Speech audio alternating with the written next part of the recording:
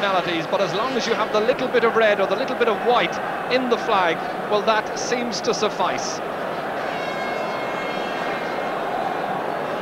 No hopers virtually at the outside of the Munster campaign, but led by Father Michael O'Brien, they've confounded just about everyone, this team. Indeed, they were scarcely given a chance before the Munster final, I put it to the Cork coach that he really believed in this team, and he replied, well, as a priest, you know, Ger, I have to have faith. It was well placed. Mark Foley there coming out towards us. The tall man who'll have that intriguing battle this afternoon with Tony Keady. And now another deafening ovation for Galway. The Western fans acclaim the favourites for this All-Ireland hurling title. A Galway team featuring in the final, remember, for the fifth time in six years. Cyril Farrell, the team manager and coach. What a tremendous record he's had. Phelim Murphy getting the good wishes of some of the supporters down there near the dressing room area. Ollie Kilkenny here, the number four, who gave a very sturdy semi-final performance the flags for Galway there behind the goal at the canal end. The substitutes making their way off towards the dugout across on the far side on a splendid setting. Temperatures 21 degrees this afternoon. There's Anthony Cunningham. Michael McGrath, the player we're looking at at the moment.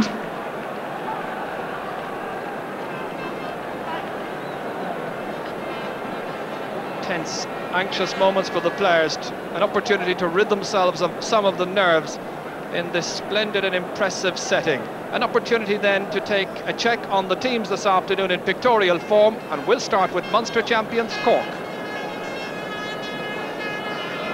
champion. One of seven final newcomers in the Cork team. Happily recovered from injury yet again. Long-time reliable substitute a sub for the 86 final with Galway. One of Cork's most consistent this year. Cork's captain for the Munster final. Really shone in that win over Tipperary. Ever the man for the big occasion. Back to his very best again this year. Scorer of two goals and seven points in the Munster decider. Sure to command much Galway attention today remembered for his goal in a million four years ago. On a day when Kevin also scored against Galway. He's hit four goals in his last two games. And so we've seen the Cork team, so to Galway, have had their photographs taken.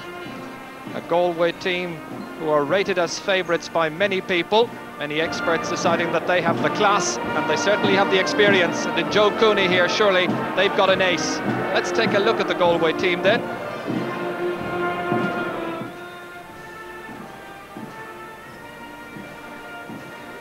Galway's penalty goal scorer in the final against Cork. One of two Galway newcomers to final day. Named an All-Star last year. The team's regular left corner back. One of the finest wing-back exponents. Missed last year due to suspension. Man of the match in the semi-final against Offaly.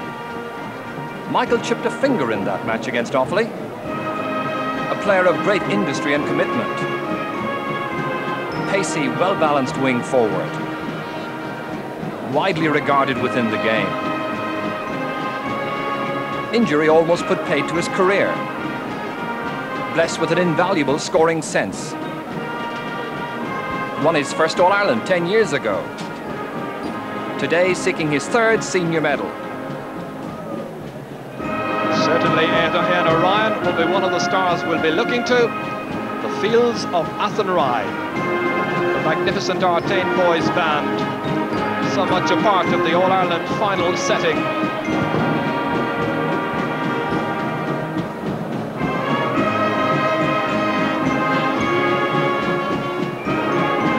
It really is a very, very happy scene just to endorse what Jim Carney was saying a little while ago two sets of supporters, two teams who I hope will play the game, and indeed I'm almost certain they will play the game in a very spirited fashion. If it's anything like the minor match which preceded this, in this splendid Croke Park setting, the place to be surely on the first Sunday in September. But if it's anything like that minor match, we're in for a cracker.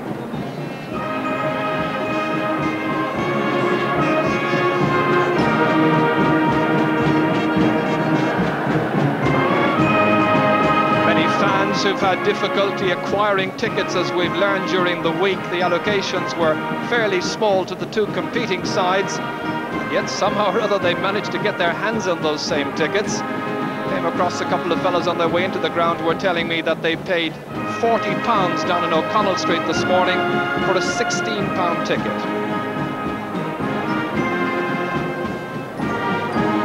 Martin knocked Naughton there.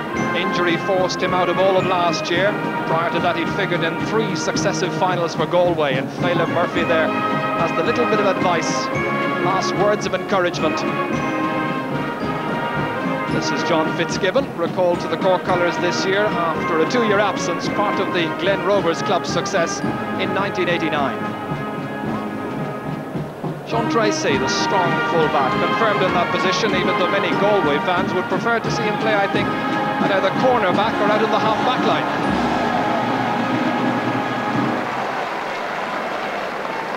Cyril Farrell, the team coach, and just a mention of his fine record. Galway has won nine All-Ireland titles at senior, at under-21 and at minor combined. And he's been in charge of the team for six of those nine titles. Both teams play as shown on the official program. 1300. Tach den Ochterroin in ish, agus deshe ger bull lesh na foidne Morris Ganochta. John Moore from County Waterford, the 40-year-old official in charge of his first All-Ireland final, performing the toss.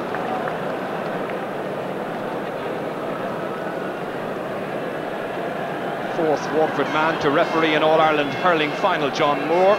He performed with great credit, I thought, in this year's Munster final.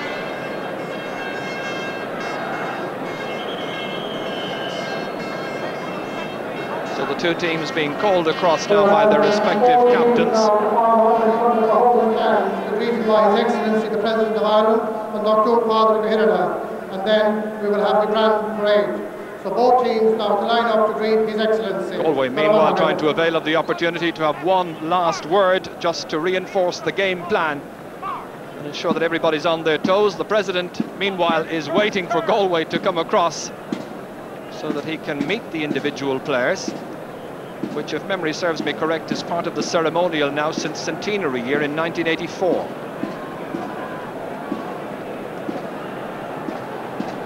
And the Cork lads also deciding to uh, have one last quick little meeting in the huddle. Father Michael O'Brien widely acclaimed as a hurling coach, a most knowledgeable man.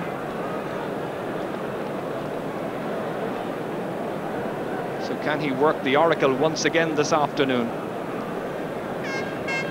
A word of good wishes to everybody.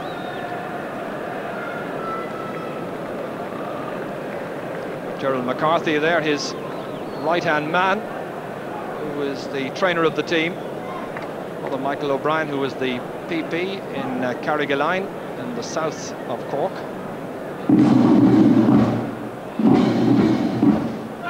So President Hillery attending his last All-Ireland hurling final in office, meeting the Cork players. Barring a replay, of course, it will be his final All-Ireland hurling final in office. And over his 14 years, he's seen eight different counties represented in the senior final. Dickie Murphy there, John Moore, Pat Horan, one of the umpires. He's witnessed the re-emergence of Galway as a hurling power in his time in office. He's presented the McCarthy Cup to four different Cork captains, seen Offaly win the championship twice.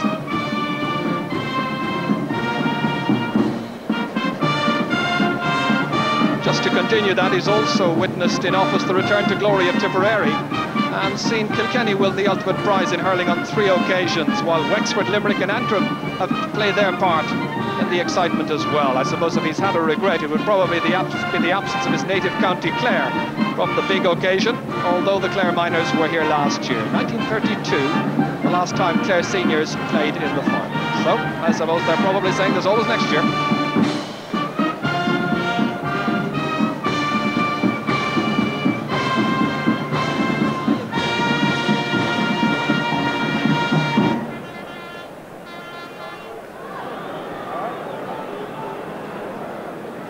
Just one final part of the pre-match ceremonial before the anthem, the parade of the teams in front of 64,000 cheering spectators. was one of the great scenes on All-Ireland final day. Galway led by Joe Cooney on the far side, Cork by Tomas Mulcahy at the culmination of the best part of a year's intensive, often grueling training. Sean O'Gorman there and Kevin Hennessy, the number 14.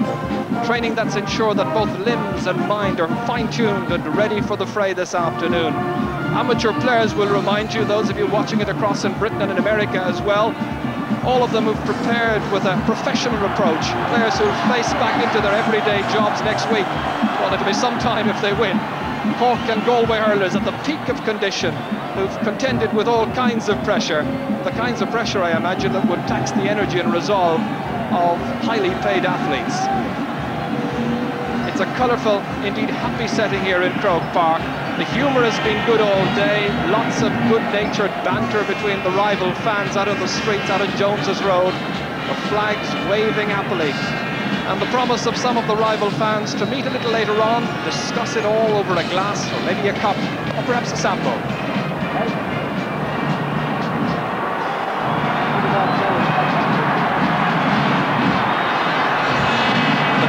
Contrast in style of hurling this afternoon, I think, should be worth noting as well. Cork's coaches down the years, disciples of the Mo Dirac, the direct approach based on speed and alertness, forcing the opponents to play the game in their half of the field.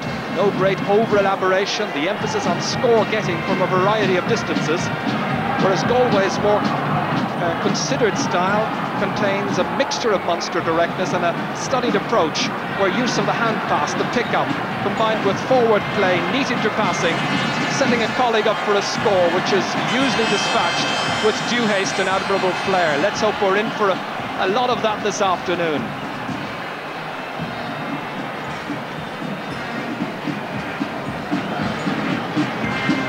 It's one of those moments I always think when you wish time would just stand still for a moment so that you can savour each and every second of it.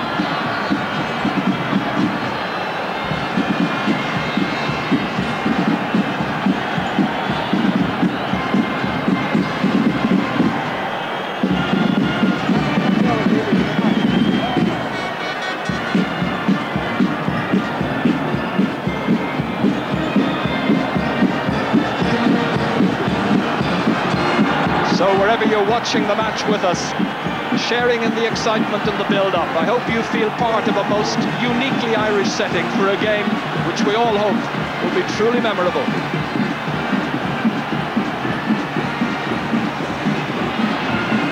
Joe Cooney and John Commins, the goalkeeper there.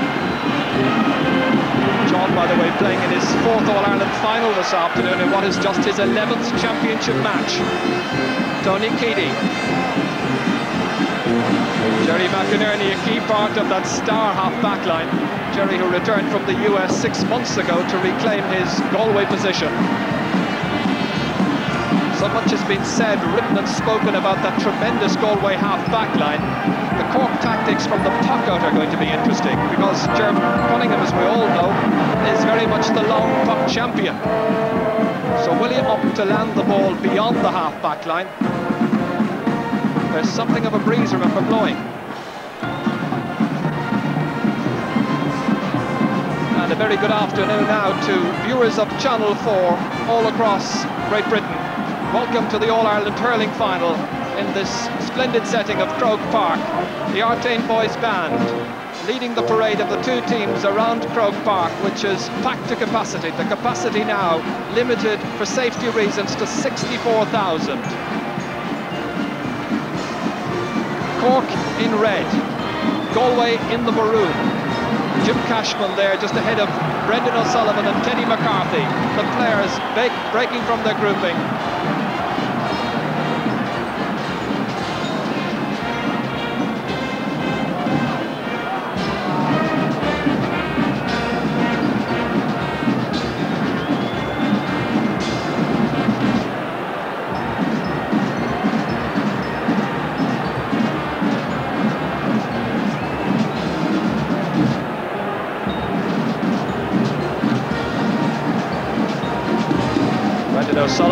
Who's had a great year at club level last season, and that was the successful launching pad for a most promising career. Just one final part of this tapestry to complete.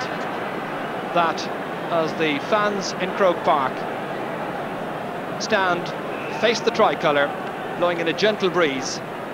Joe Lynch, the director of music of the Artane Boys Band, giving the salute for our national anthem, Seo Amhrán na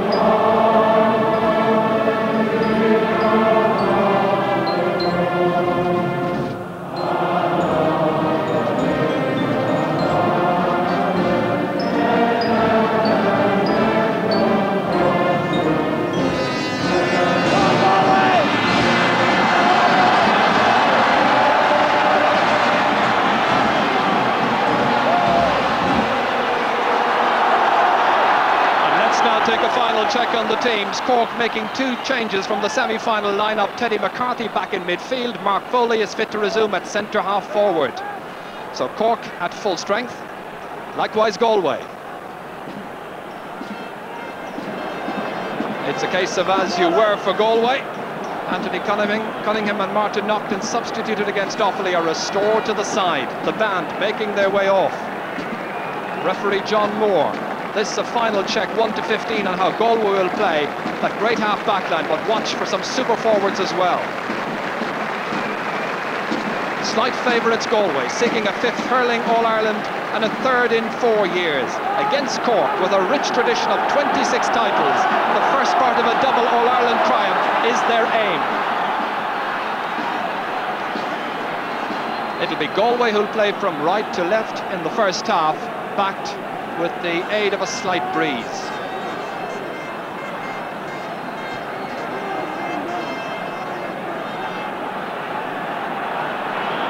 Game is underway, the first hurling final of the 1990s.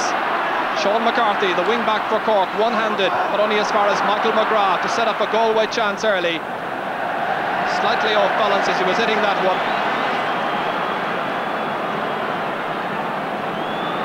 Michael who scored four fine points in the semi-final against Offaly.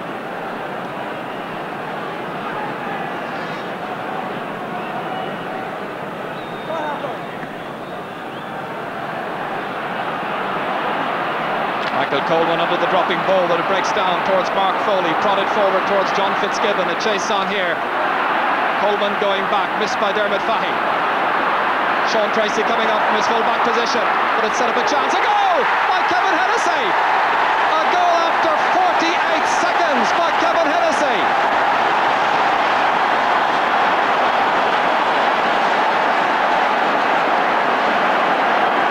One of the fastest goals in an All-Ireland final. John Fitzgibbon prodded it forward. It was missed by the fullback and Kevin Hennessy rifled it in. So a confident start by the Munster champions. Galway set to reply with Joe Cooney over the bar. Cooney gives the leadership and he struck that one over with effortless ease.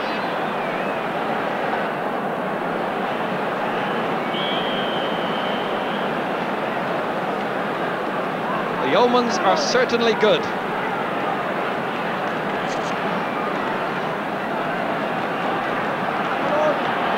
Teddy McCarthy taking it with his left hand. Back in the team, hooked well by Martin Naughton. He follows up, however. Tries the shot from way out the field. Two attacks for Cork, two scores. Teddy McCarthy's first attempt at a score, 1-1 to a point.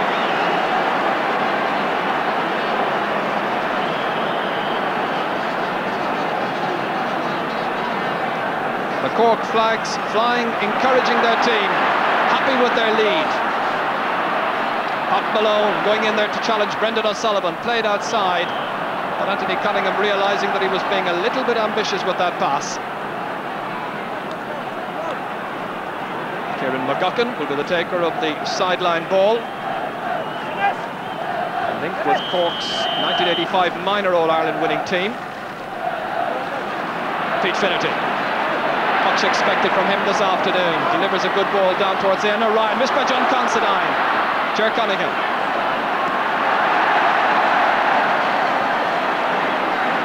Ger Fitzgerald under it. Wins the first ball that comes his way against Gerry McInerney. Ollie Kilkenny. It comes off the legs of Tomas Mulcahy. Back by Kilkenny again as far as Joe Cooney. And pass to Pat Malone.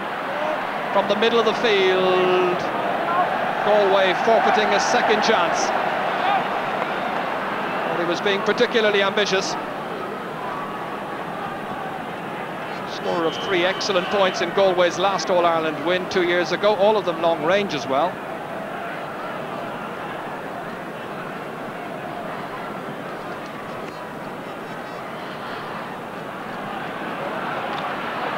Brendan O'Sullivan breaking it down towards Ger Fitzgerald towards Kevin Hennessy. That goal will have done him a power of good. He'd only scored two points in the previous two matches, both of those from frees. Johnny O'Sullivan fouled. Free into Cork.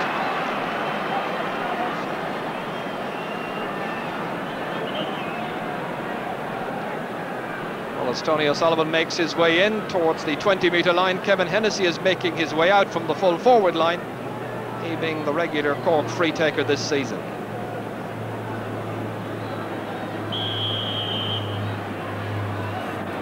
Fifty metres out. Light breeze blowing into his face as he hits it. He's put it wide. The chance goes a begging.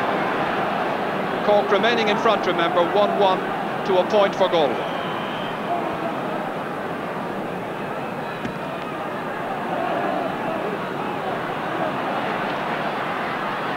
Kieran McGuckin trying to hold off his man. Anthony Cunningham getting in the pass inside.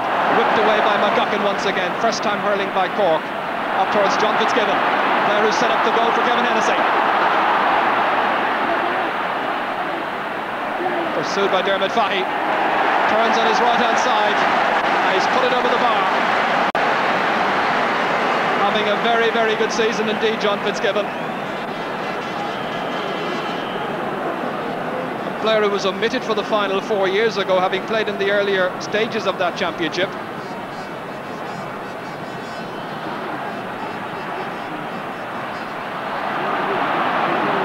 Cork winning the early exchanges in their own half-back line. Tony O'Sullivan against Tony Keady. The dancing legs of Tony O'Sullivan. Pass inside, Tomas Mulcahy, the team captain, causing consternation. Sean Treacy equal to it. Breaks back down to him. A good clearance by Treacy out of defence. But the Cork attack applying pressure on that Galway full back line already in the opening six minutes of this match. And a misunderstanding there. Two players getting in one another's way, Tony Keady and Pat Malone. Galway have really yet to settle down in this game. The greater urgency coming from Cork in these opening minutes. Ollie Kilkenny, who won't want to see Cork settle down too much into this match. You remember what happened in this year's Munster final. Eanna Ryan on his right-hand side, sun into the eyes of Ger Cunningham. Good clearance under pressure. Pete Finnerty, Michael Coleman calling for it outside. Cork trying to close down their men. That's Brendan O'Sullivan. What a battle the two number eights are having in the opening minutes. This is Tony O'Sullivan back, helping his defence, Sean O'Gorman. Lengthy clearance up to the 20 metre line between full back and full forward. Well taken in the arms of Sean Treacy. Settling down to his task now. Sean McCarthy. Good hoop. Martin Naughton, however, trying to follow it up, is supported by Pat Malone, the rapid delivery of the hand pass. Denis Walsh lets it break off him and Ger Cunningham coming from his goal to make the clearance. Well, in the intensity of the run, Michael Coleman colliding with an official over there. Ooh, that hurt. Marvellous opening to this game. Michael Coleman. Brendan O'Sullivan, Joe Cooney. From fully 45 metres out, he was being sublimely optimistic, but rewarded accordingly. And Joe Cooney has got both of Galway's scores.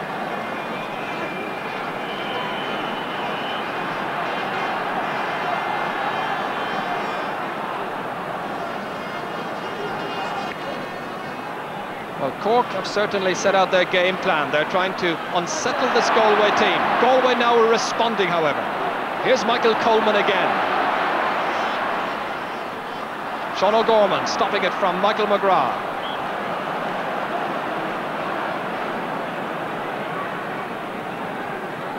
certainly has become an invaluable member of this Galway midfield. Really works tirelessly in their calls. Pete Finnerty.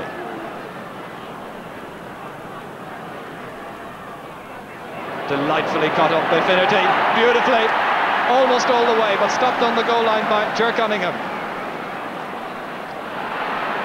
Brilliantly taken into the arms. Anthony Cunningham looking for Cooney from a tricky angle, and he's got another one. The man they can always depend upon in a crisis situation. Not that there were anything near a crisis situation at this stage, but just to make sure that Cork didn't open up too much of a lead.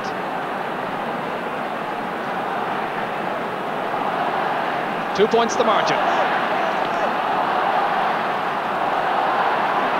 Directed towards Mark Foley and Tony Keady. Who's going to win that battle? Tony Keady says it's going to be me this afternoon. Great solo run, good jink, and a lovely score. It's a one-point game.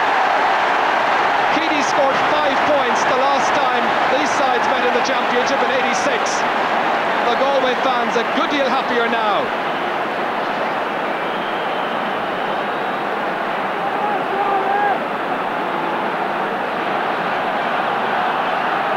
Well, that was really a classic score by Tony Keady, having taken it in the air himself.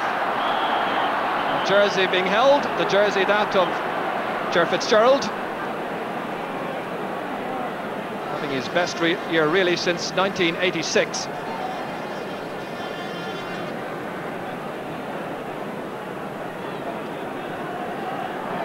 So Kevin Hennessy missed an earlier one. It's about three metres nearer the target.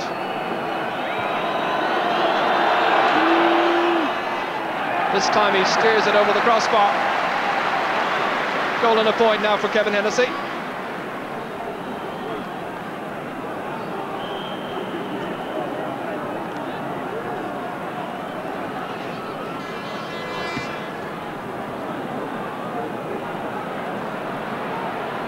Joe Cooney there against Jim Cashman, and he's doing everything well so far.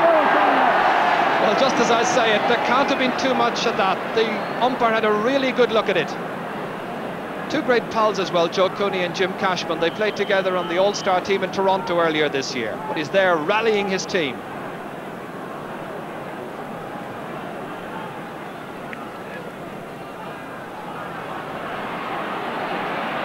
Mark Foley trying to get more into the game. Dermot Fahy. Kieran McGuckin pressing forward. This is Foley.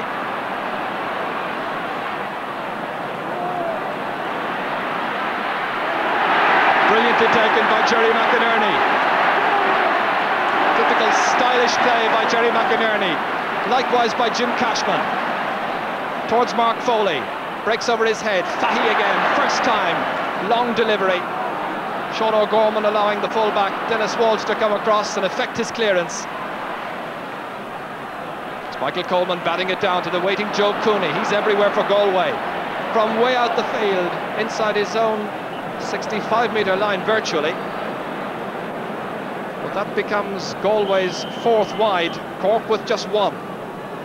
12 minutes gone.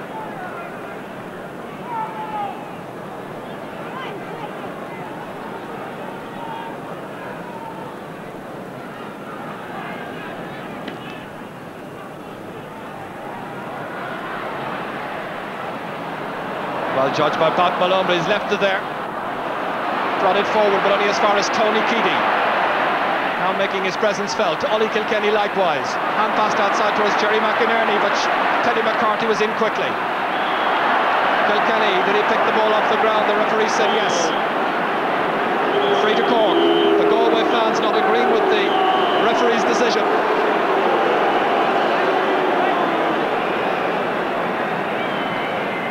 So Ollie taking up his position there on the Galway goal line.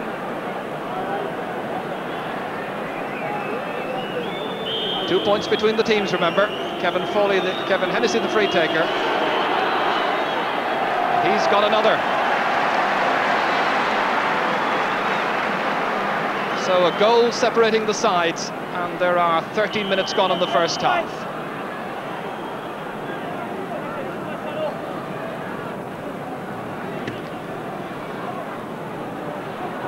Again towards Joe Cooney. He is making an impression in these opening minutes with three points so far. Michael Coleman travelling, taking too many steps.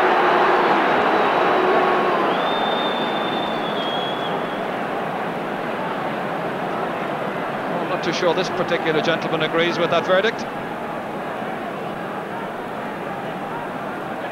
Jim Cashman. Breeze into his face, remember, in this first half. From his own 65 metre line, high up into the air. And wide.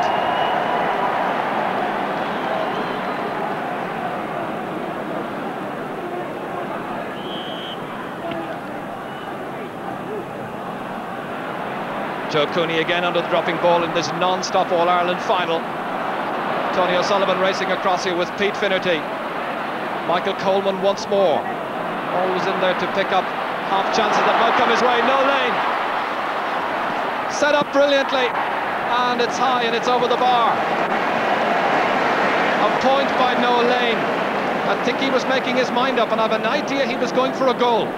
He seemed to settle himself. And the shrug of the head there would indicate that he's not too pleased with the way it went over the bar. That's where he settled himself. The pick-up. Oh, definitely he was going for a goal. He gets a point, however.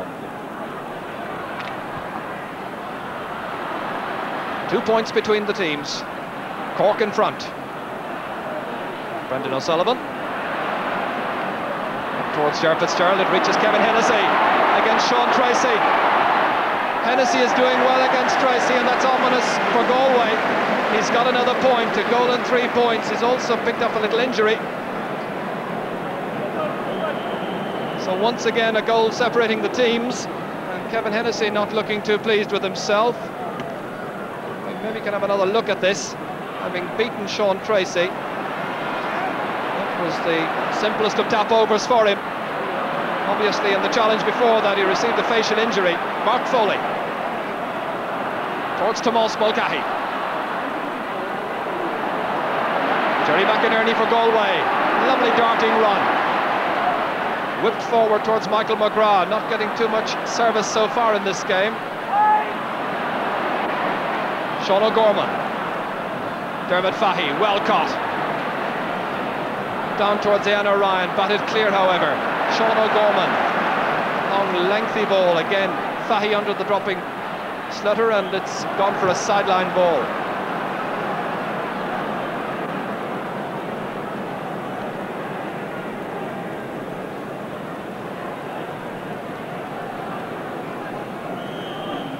We've had 11 scores so far. What's been a very entertaining final.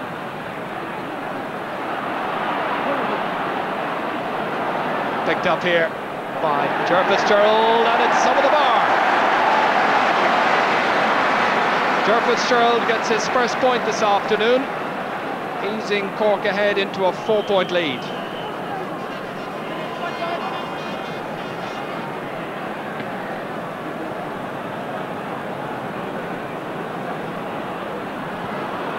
Sean O'Gorman clearing his lines. This is Martin Naughton. Angling for the shot, Naughton. Brilliantly high and over the bar. A great score by Martin Naughton of Turloughmore. Pinning it back to a one-goal differential once again.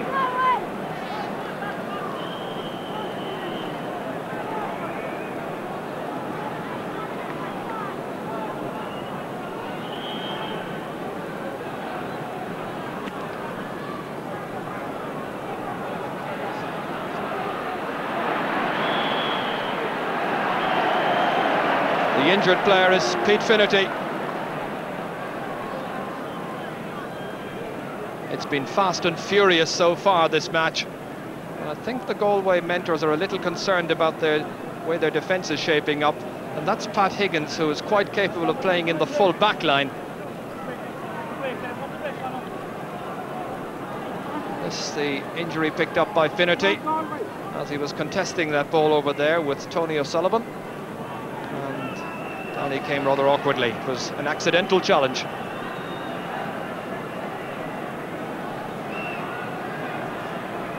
Well, accidental it may have been, but foul nonetheless, the referee decides.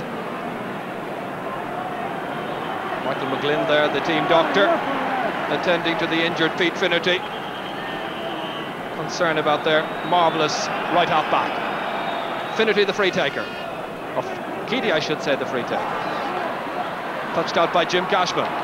Down it comes to Pat Malone, dangerously inside to Cooney. Well, there was a gap for once, there is again. Still Joe Cooney, and he's kicked it in. It's the equaliser.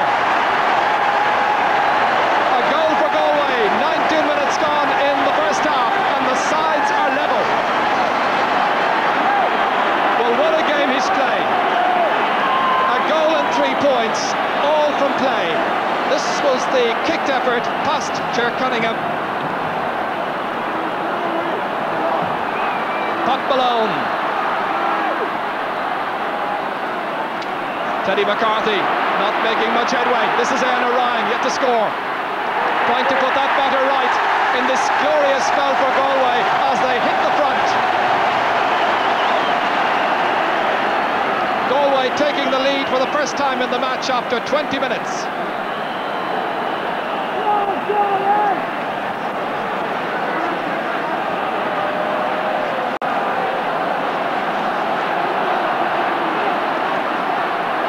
Tony Keady. Sean McCarthy driving it forward. Comes back to Tony Keady. This is a very good spell for Galway. They've weathered whatever pressure Cork have put at them so far. They've come back strongly. And in Cooney, they've found a great leader of the attack.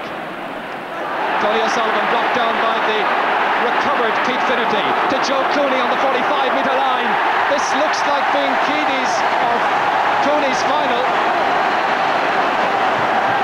Early stages to talk about anybody's final, but so far it's the final of Joe Cooney.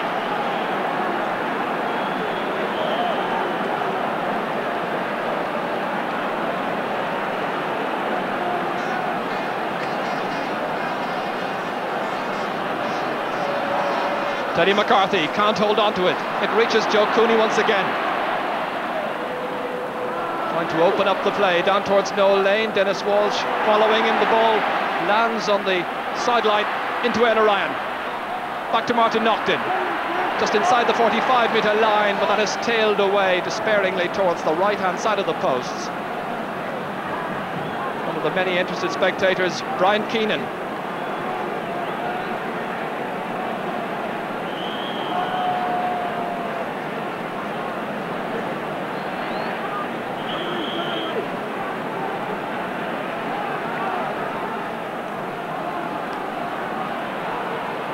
Michael Coleman getting under that ball, but it runs on towards Tomas Mulcahy. Tom Fitzgibbon trying to prod it forward. Tony Keady can't hold on to it. Strong, forceful play again by Michael Coleman. Delivering the hand pass towards Martin Naughton, but there was a push. The referee was quick to spot the infringement. That's where the free is from, he says.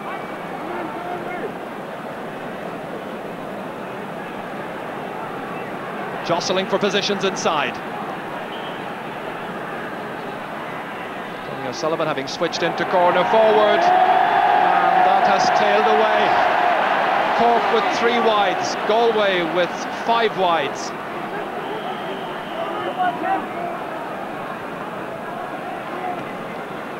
A warm, sticky afternoon here at Croke Park. The catch made by Teddy McCarthy here. You have to wonder whether Cork will make a switch on the marking duties assigned for the player on uh, Joe Cooney. It's Jim Cashman at the moment.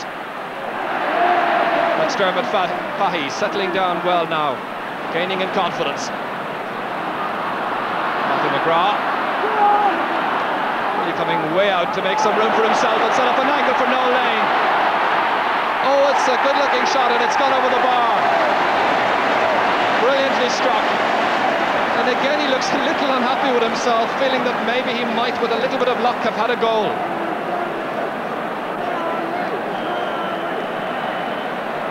Galway fans happy enough to see it sailing in there into the path of Noel Lane, whipping on it well. Beautifully cut. Three points the difference. Galway have turned it around completely.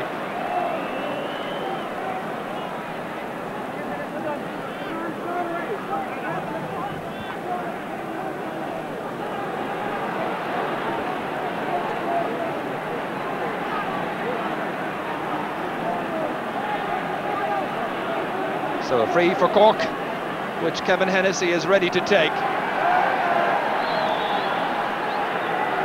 Midway between the 65 and the 45 metre line. In the Galway half of the field.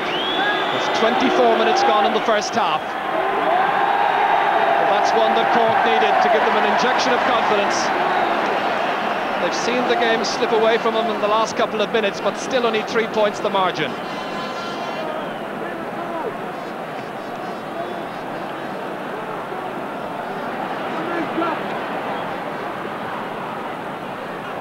Jim Cashman. Here's Teddy McCarthy. Kicked back in by Pat Malone, out by Sean McCarthy towards Tony O'Sullivan. In marks by Ollie Kilkenny. Exchanging blows just for a moment off camera as Gerry McInerney plays it into the clear, but Sean O'Gorman is there for Cork. Dermot Fahy, it sails over his fingers in towards Kevin Hennessy, still being marked by Sean Treacy, remember. Back comes Fahy. Gets in a good clearance towards Anthony Cunningham. Runs on towards Michael McGrath. This is Cunningham once again, lifting the tempo of the game. Pat Malone beside him, trying the shot. A little bit of speculation on his part. Hasn't had the best of success in finals so far. Hasn't scored today in this match and has only managed one point in his three previous finals. That was against Kilkenny three years ago.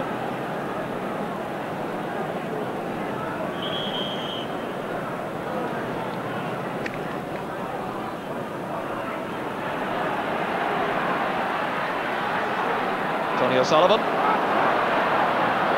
player to be able to lift this Cork attack. Teddy McCarthy.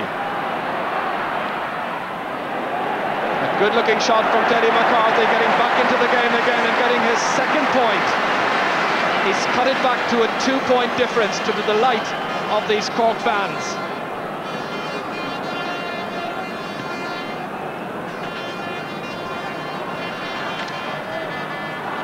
Breaks on towards Michael McGrath. Pursued over there by Sean O'Gorman. Noel Lane looking very fit and alert. A high shot, and that's another beautiful point from Noel Lane. What a great servant of the game Noel Lane has been.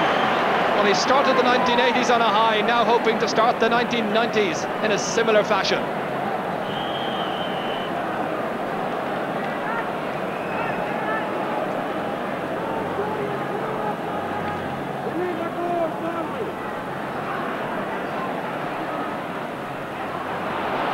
Keating. He really hasn't given Mark Foley much of a chance in this match so far. Michael McGrath down towards Noel Lane, causing some problems, getting the scores. Denis Walshare facing his own goal. Dispossessed by Cooney, leaving the pass inside, but it's not going to count. The goal by Eanna Ryan doesn't count. The referee had whistled up. It's a free on the 20-metre line. The foul was on Cooney. Something somewhat similar happened in the minor final. The referee had blown the whistle as the foul on Cooney here was committed, and there was no advantage for Ryan.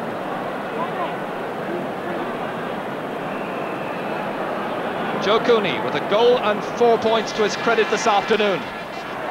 Make it a goal and five. Restoring Galway's four-point advantage.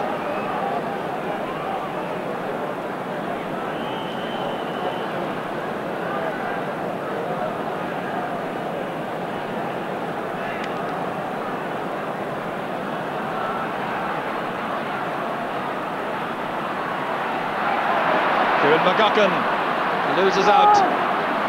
Assisted, however, by Brendan O'Sullivan. Michael Coleman.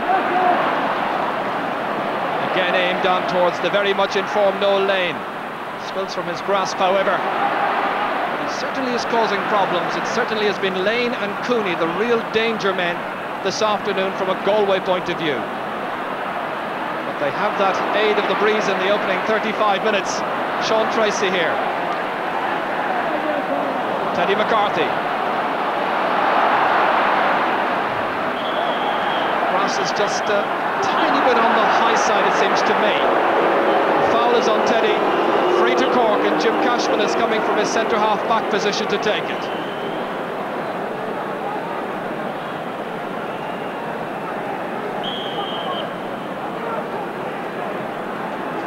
Playing in the position that his brother Tom played in when Cork was last in opposition against Galway in an All-Ireland final. He's missed it. The wind again carries it away, and that's happened a number of times. Happened when Kevin Hennessy was taking it as well. A switch in the Cork full back line. Sean O'Gorman is now in marking Noel Lane. Denis Walsh is out at cornerback. That's John Considine. Here's Tomas Mulcahy. Blocked down brilliantly by Tony Keady, who's lost the stick, trying to prevent the progress there of Teddy McCarthy. Speculatively forward, up into the corner towards John Fitzgibbon. Held away well, however, by Dermot Fahy in this his second championship match. Dickie Murphy from County Wexford, the linesman across there, awarding the sideline ball to Dermot.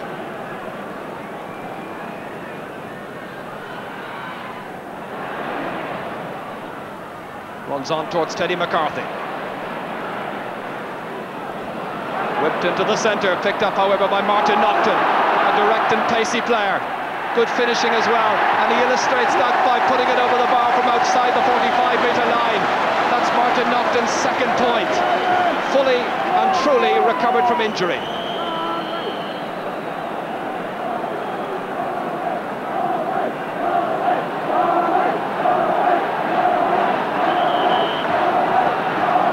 Inside the last five minutes of this first half, which has been all action. A huge score put up by Galway, 112, and a very impressive score by Cork as well, 1-7. Here's Joe Cooney, going to pick his spot, and he strikes it over brilliantly. Hit with unflagging composure. Very much the man of this match so far.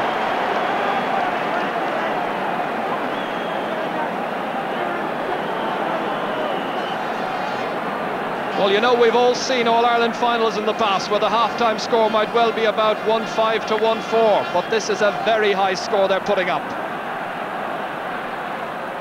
Michael Coleman, magnificent. Certainly gaining something of an edge at midfield. Denis Walsh now in the new position of left corner back for him. Tony Keady.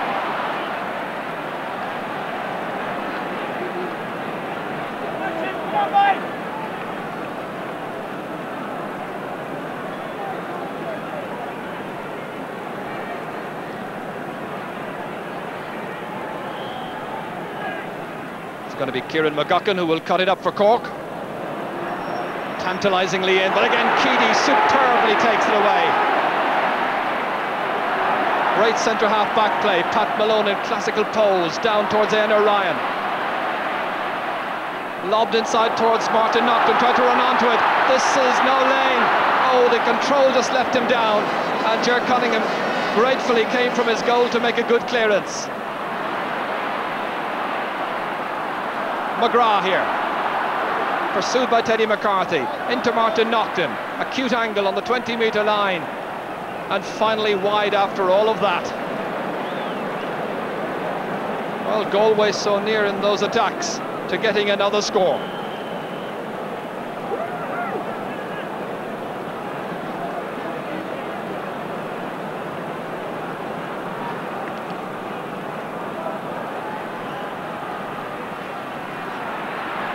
The divinity calling.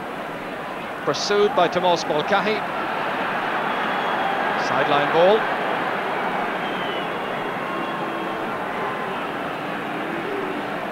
Well, that's the position. And just about two minutes to go to the half-time whistle.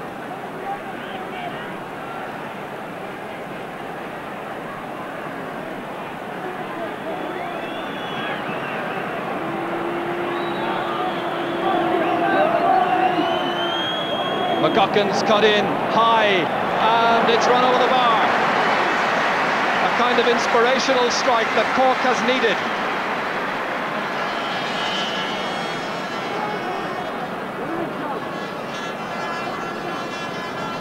John Commins with the puck out. Joe Cooney adding to it well. Intended for Noel Lane. Delightfully picked up. Cooney Well, it might well have deserved a score. Oh, we really like to embellish their work, but at the same time, there's so much speed in the way they deliver those balls in.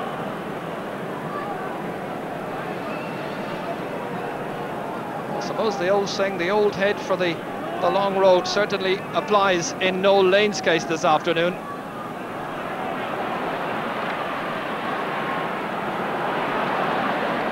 Anthony Cunningham they're throwing away some useful chances. Galway now with nine wides for this opening half, Cork with five. But they are playing with the breeze, remember, in the first half. The sun is into the eyes of the Cork goalkeeper as well in the opening 35 minutes. And as we all well know in hurling, a five-point difference isn't a particularly big lead.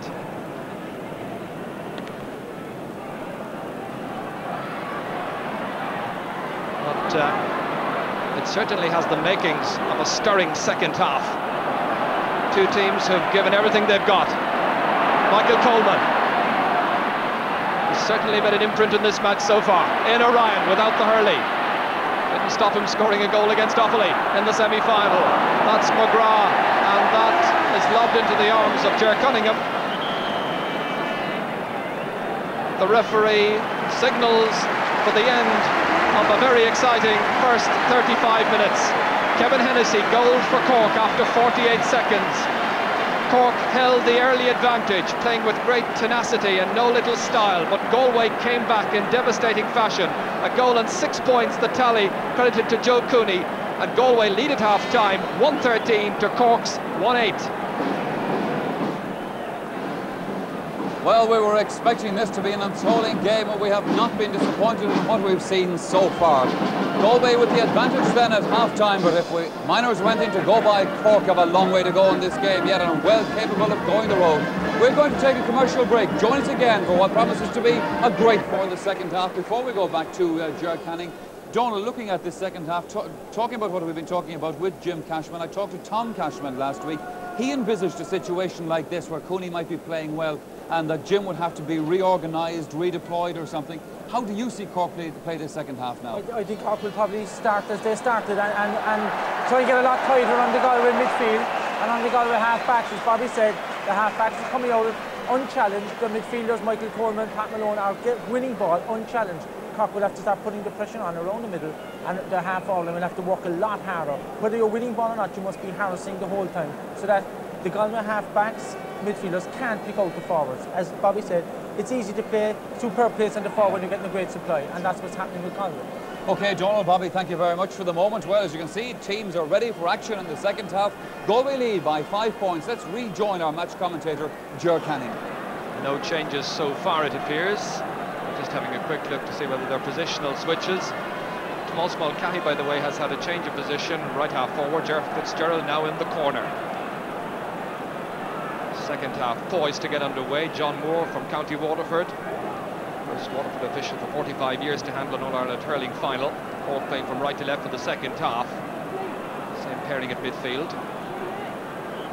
The jostling for positions at the start of this second half. Remember, it's 113 to 1-8. Galway the leaders. Tony. To set up the first attack of this second half. Stopped by Dermot Fahy. Out towards Anthony Cunningham, taking it in his stride, going past Kieran McGuckin. Ger Cunningham making the save. Always signalling their intentions. Good catch by Mark Foley. Now can Cork get him into the game? Lobbed inside towards John Fitzgibbon. A noted goal poacher. Comes down. A good chance. Has gone a begging. Fitzgibbon again. Well, the chance was there for just a minute for Ger Fitzgerald. It's gone for a 65. Fitzgibbon very much the man involved in that attack. Ger Fitzgerald had the opportunity when that ball came back, but came back badly for him. Fitzgibbon then followed up, came off the defender, off uh, Dermot Fahy. Jim Cashman to take the 65 for Cork. Trailed by five points. Lobbed in. Keady getting it out. Followed up here by Pete Finnerty. Towards Michael McGrath. Denis Walsh watches that as it comes off his stick down to Kieran McGuckin. High one inside towards Kevin Hennessy. Hennessy with the ball in his hands. A goal opportunity perhaps.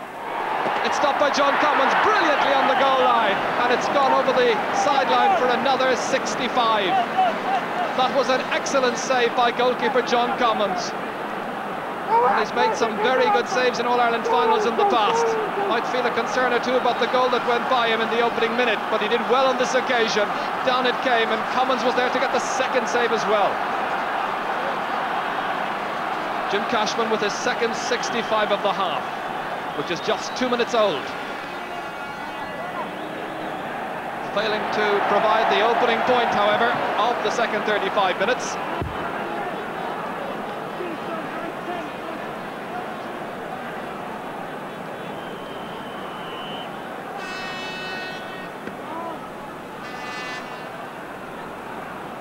Jim Cashman then against Joe Cooney. It breaks down to Michael McGrath. McGrath looking for a score. Provides the first point of the second half. His first point in the game. So it's a six-point difference once again. The man the Galway fans affectionately call Hopper becomes the fifth Galway forward to score in this match. breaks out to Pat Malone. The midfielder trying to set up Gerry McInerney in a typical burst and run out of defence. Pursued by Kevin Hennessy. Still McInerney, tremendous skill. Galway fans will want to deliver the pass. Reaches Martin Naughton. And Naughton was fouled, and that's going to be a free for Galway. The advantage not applied. Gerry McInerney, the one who set all of that up with that darting run out of defence.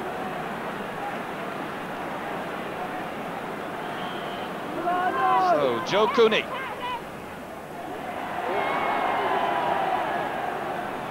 That's the first that's got away from Joe Cooney this afternoon.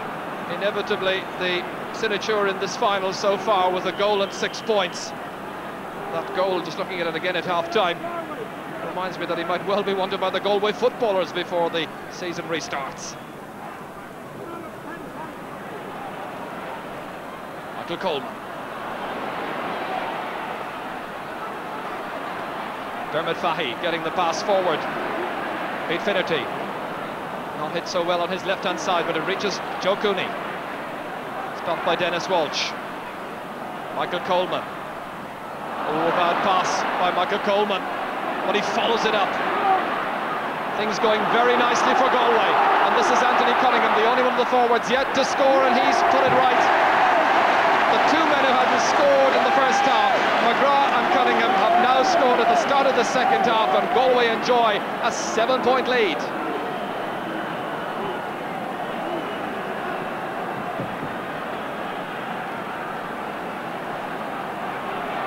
Here's Keady.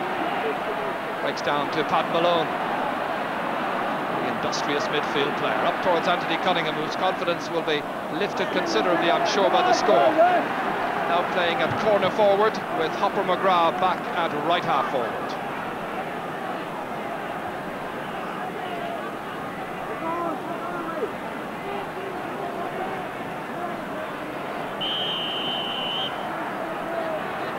So the sliotar close up about two and a half inches of grass surrounding it. Pete Finnerty cutting it up delightfully. Today seeking another All-Ireland medal to go with the ones he won in 87 and 88. Jim Cashman with a good clearance down towards Mark Foley. Lobbed into John Fitzgibbon.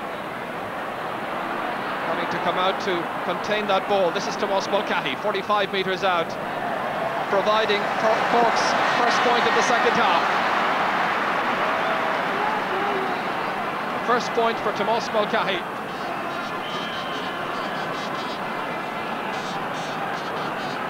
Cork with a switch in their half-forward line. Mark Foley has been taken off Tony Keady. He's now on Gerry McInerney at right half-forward and it is Ger Fitzgerald who's switched in on top of Keady, or Tomas Mulcahy, I should say.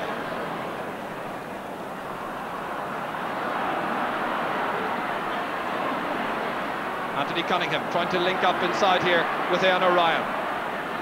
Eanna, who's pointed the first half, gave Galway the lead on the 20th minute. A lead they have not surrendered since then. Seanie McCarthy, Michael Coleman standing in isolation in midfield, way out, and he's put it over the bar. Well, a remarkable score coming in a moment of intuitive skill from Michael Coleman, endearing himself to these Galway fans at the canal end.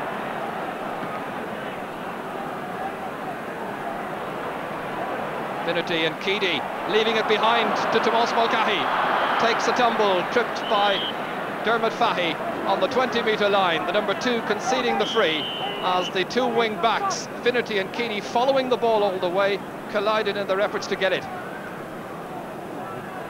This is the incident in replay. So free on the 20 metre line. Kevin Hennessy with his side behind. Wonder would he consider going for a goal and this the seventh minute of the second half. He's content with a point. That's a goal and four points now in the match for Kevin Hennessy.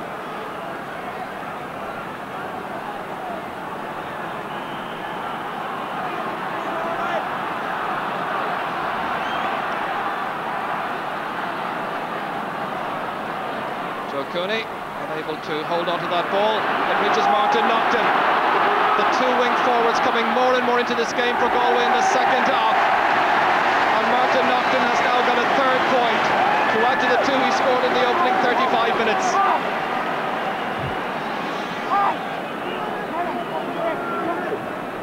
So the Galway fans, I'm sure, dreaming about taking the McCarthy Cup back west of the Shannon yet again. It will be the third time in four years, remember. Tomas Mulcahy now in there against Tony Keady. But it's Gerry McInerney who realises that the man in the centre of the half-back line might be in a bother, coming across to make the clearance. To Michael Coleman, steadying himself. Long, long ball, goalkeeper having to come from his goal line and be absolutely secure. He's driven it way up into the air, the breeze carrying it on. Runs on towards Tomas Mulcahy. In the clear. A Cork goal perhaps, yes!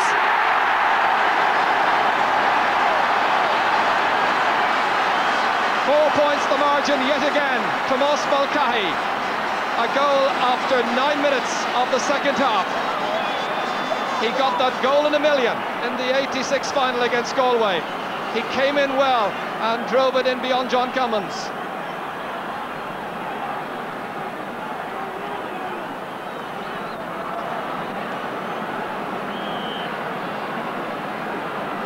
Waiting for the breaking ball was Mulcahy.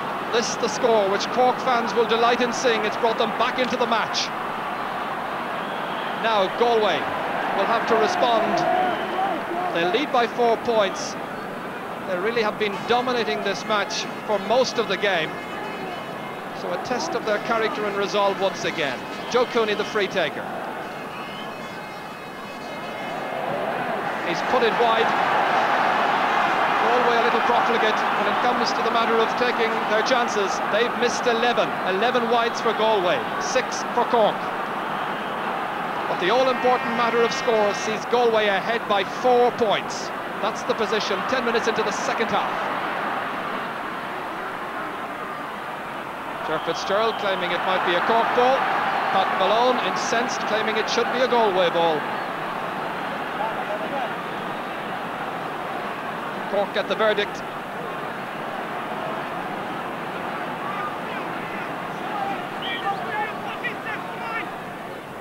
Seanie McCarthy. This is Brendan O'Sullivan. Stopped by Pat Malone. Runs out towards Tony O'Sullivan. Cork, by the way, have David Quirke in at left half back at the moment. In place of Kieran McGuckin as Tony O'Sullivan tries the shot, but it goes astray. And the tall Joe Rabbit, I think, is going to come in. Is he? That is the substitute for Cork, uh, Cathal Casey, who came in in the Munster final. So in front of 63,900. A match to remember so far. Pete Finnerty up towards Noel Lane, isolated. Denis Walsh had to be decisive. It breaks down to Martin Naughton. A goal chance for Galway now. Oh, yes! It's gone wide. It's gone off the goalkeeper who's made a brilliant save. Martin Naughton had a glorious chance in the 12th minute of the second half. Watch for Ger Cunningham. He had to be brave, courageous and decisive. He got there.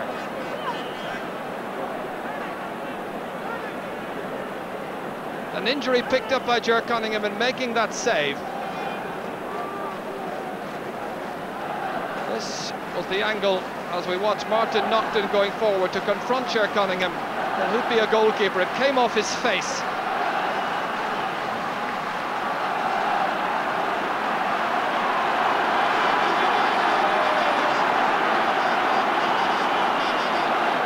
If it came off his face, it should have been a 65, but uh, the outcome seems to be a puck out for Cork.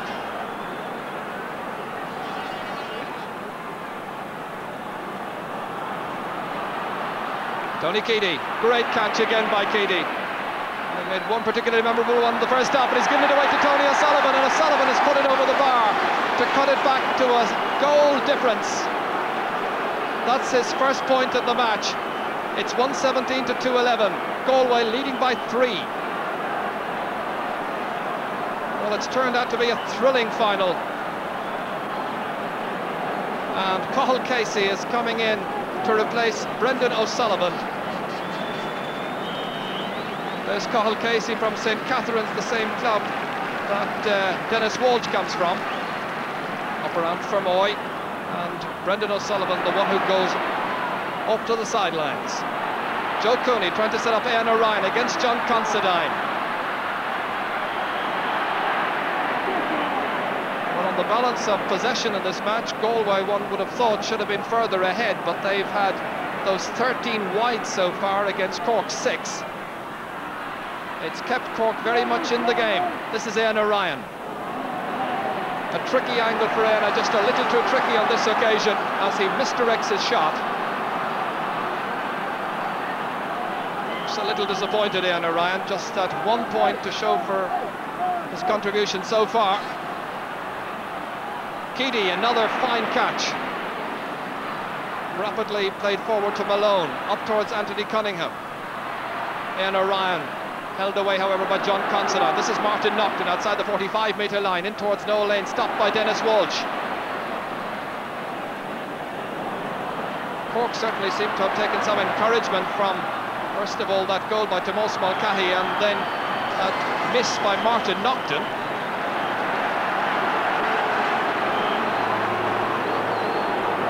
It's going to be a Cork ball.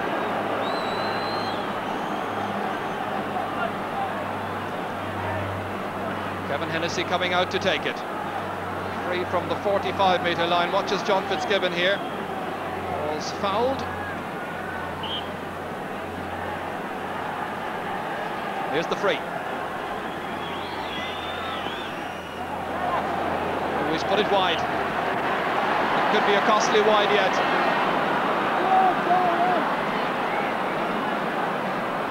Quarter of an hour gone in the second half.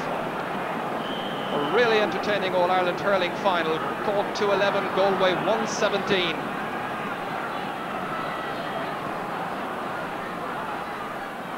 Cathal Casey. Can he make a difference at midfield? Jim Cashman doing well. Ollie Kilkenny. And that's gone wide. Good defensive play by Ollie Kilkenny, a fine, durable defender, making sure that the forward wasn't getting in to get any piece of the action there. Sean Treacy, who's got quite a task against Kevin Hennessy this afternoon.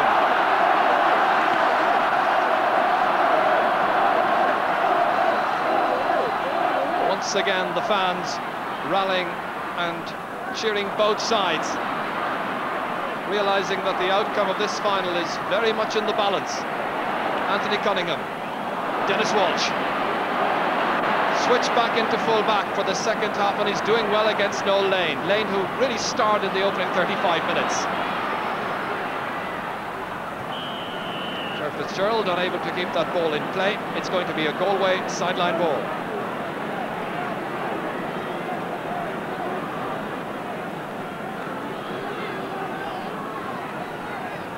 Custodian Ger Cunningham, who played in the 82 and 83 finals when Cork was beaten by Kilkenny but came back to win medals in 84 and 86.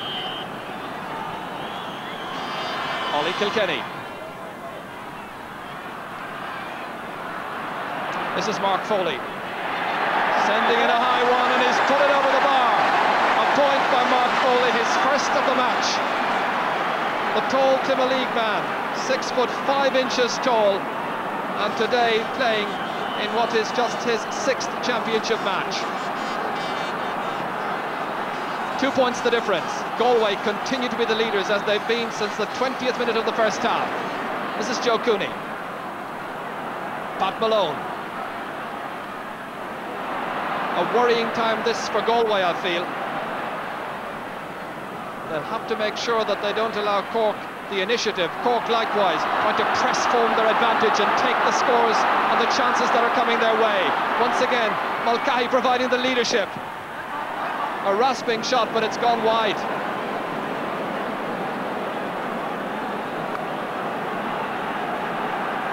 Some exchange of words there between Tomas Mulcahy and Tony Keady.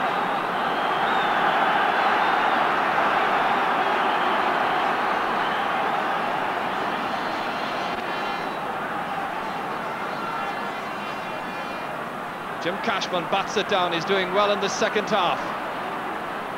Seanie McCarthy was ready to whip onto it, but the pass came back rather awkwardly to Anthony Cunningham. Stopped, but the ball had gone out over the sideline. The umpire decides, despite the best intentions of goalkeeper Ger Cunningham, it's a 65. So the sub has come in, and that is Tom Monaghan, Tom Monaghan, a player who replaces the midfielder Pat Malone. And I know they have great faith in this Tom Monaghan. He scored three points against London in the opening round of the championship, and many people felt he was hard done by to lose out for the semi. Keady to the taker. It's a poor one. Michael Coleman inevitably waiting for the pieces to come his way to set up an attack for Tom Monaghan. Blocked down brilliantly by Cathal Casey. Followed up by Teddy McCarthy, yet to make a real impression in this final. Monaghan once more. Does have to press home his claims for inclusion from now on. Casey trying to kick the ball away. Cooney. It reaches Monaghan once again. That must be the third time in this attack. But finally it's gone wide. That is Galway's sixth wide of the second half and their 15th in all.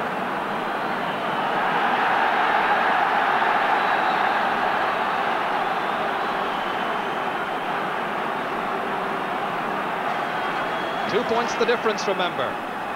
Nearly 20 minutes gone in the second half. Gerry McInerney making another memorable catch. Jim Cashman, however, reading his intentions. Really solidly holding this half back line together, Jim Cashman. Ger Fitzgerald. Towards Kevin Hennessy, but there was no way he was going to be able to contain that pass.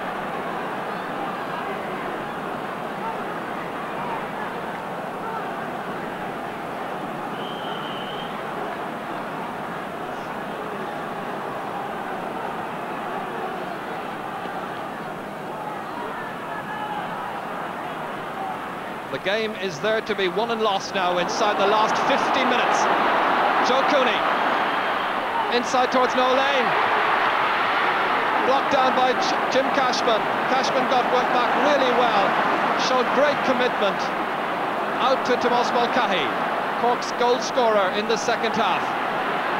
Towards Kevin Hennessy, who got the goal in the first. Rounding Sean Treacy with some ease. Into Mark Foley. Oh, it's a goal! Cork go back in front.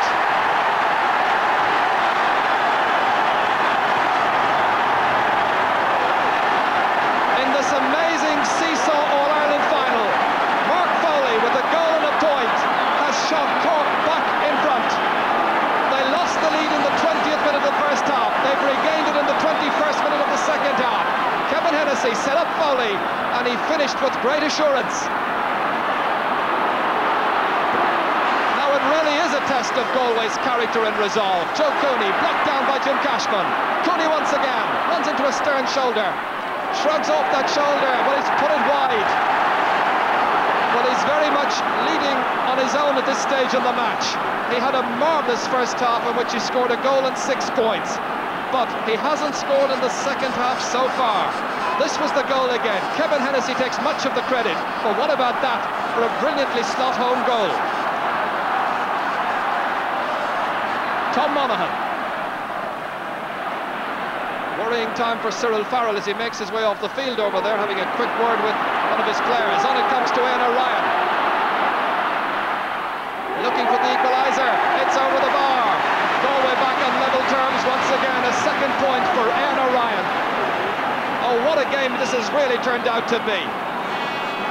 22 minutes into the second half. Cyril Farrell up on his feet the team manager, a manager has inspired them in the past, but I think at this stage he's saying, Phelim, you get up, you do something, try to rally them. Teddy McCarthy. Cork eagerly looking for another score. Can McCarthy provide it? He certainly can. Three points for Teddy McCarthy. In attack, he's been absolutely brilliant. He's taken his three chances in style. Cork fans would probably wish to see him dominate a bit more in midfield. Now playing at left half forward on uh, Peter Finnerty. Cathal Casey, the one who's taken over his role at midfield. In nips Peter Finnerty. You don't give half chances like that to Finnerty. Up towards Noel Lane. Denis Walsh lying on the ground. Noel Lane going through. High and over the bar. A fourth point for Noel Lane in this match. And Galway have restored their lead. Back in front once again. Correction, correction. Whoa. The tension of this occasion. It's 22 points apiece. 313, Galway's 119.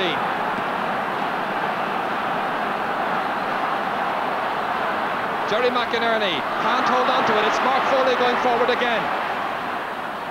Having difficulty getting in a clear-cut shot, however. A little disappointed with himself. Cork now, however, being given chances by this Galway defence in the second half. I'm not quite sure what Gerald McCarthy and Father Michael O'Brien said to Cork at half-time, who trailed by five points. But now here they are level and we have just got 11 minutes to go. Ger Fitzgerald. Tom Monaghan in there trying to restrict it with Gerry McInerney. Brilliantly again by Gerry McInerney. Up to Martin Naughton. Martin Naughton looking so pacey and so decisive, but overhitting that pass just a little bit. Cut out. Sean O'Gorman, not a good clearance. Reaches Anthony Cunningham. O'Gorman once again taking his chance this start, this season, showing great style. Down towards Kevin Hennessy, a brilliant catch by Sean Treacy. Closed down somewhat, out by Ollie Kilkenny, out to the waiting Michael Coleman. Steadying himself as always. Intended for Noel Lane, it reaches Denis Walsh instead, but Noel Lane, persistent. Showing great style, great determination. Blocked down on this occasion by Jim Cashman. This is Denis Walsh. This is a great game. in over the heads of the half-backs, but Ollie Kilkenny is waiting, and with great determination and no little style, he gets it out. Michael Coleman follows it up. Cathal Casey for Cork. Tony O'Sullivan. Wholehearted commitment being shown by two sets of players. A wild pull there by Dermot Fahy and John Fitzgibbon, penalised by the referee, who's handled this match in very impressive fashion.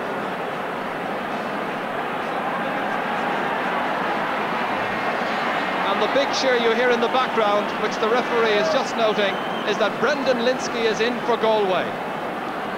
Whenever Galway are in a crisis situation, you can depend upon them calling on the big-hearted Brendan Lynskey. He's in in place of Anthony Cunningham. Sides level. Nine minutes to go. Jim Cashman with this free on the 65-metre line.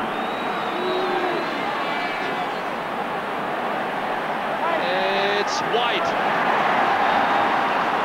So near and yet so far. The rearrangement of the Galway full forward line. Noel Lane and Brendan Lynskey are playing, it seems like, twin centre, twin full forwards. Jim Cashman. Back it goes to Cathal Casey. Ger Fitzgerald against Gerry McInerney. They've had a great duel. Great run. The layback to Mark Foley, scorer of that goal, which brought Cork right back into it. Missed. John Fitzgibbon. It's a goal! A goal by John Fitzgibbon. His fifth goal of the All-Ireland Series. A goal and a point by John Fitzgibbon. There were doubts about that Galway full back line before the match. And Cork have punished some of the lapses that have come their way. Watch this. The defence was caught in a dither, and there was a solid finish by John Fitzgibbon. Cork lead by a goal. Eight minutes remaining. A team of no-hopers, virtually, at the start of this championship, lead the favourites. Michael Coleman, anxious to respond now quickly. Played inside towards Noel Lane. Missed, however. Picked up by Noel Lane. Dispatched outside Eanna Ryan. Looking for a goal. Blocked down. Sean O'Gorman was the one who got in the way, and Sean O'Gorman is the one who makes the clearance. What a pulsating All-Ireland final it is. Dermot Fahy. Beautiful hand pass inside by Tomas Mulcahy to Kevin Hennessy. The referee allows an advantage. Hennessy still going through. Inside towards John Fitzgibbon. A goal scorer just a moment to go. There's another one!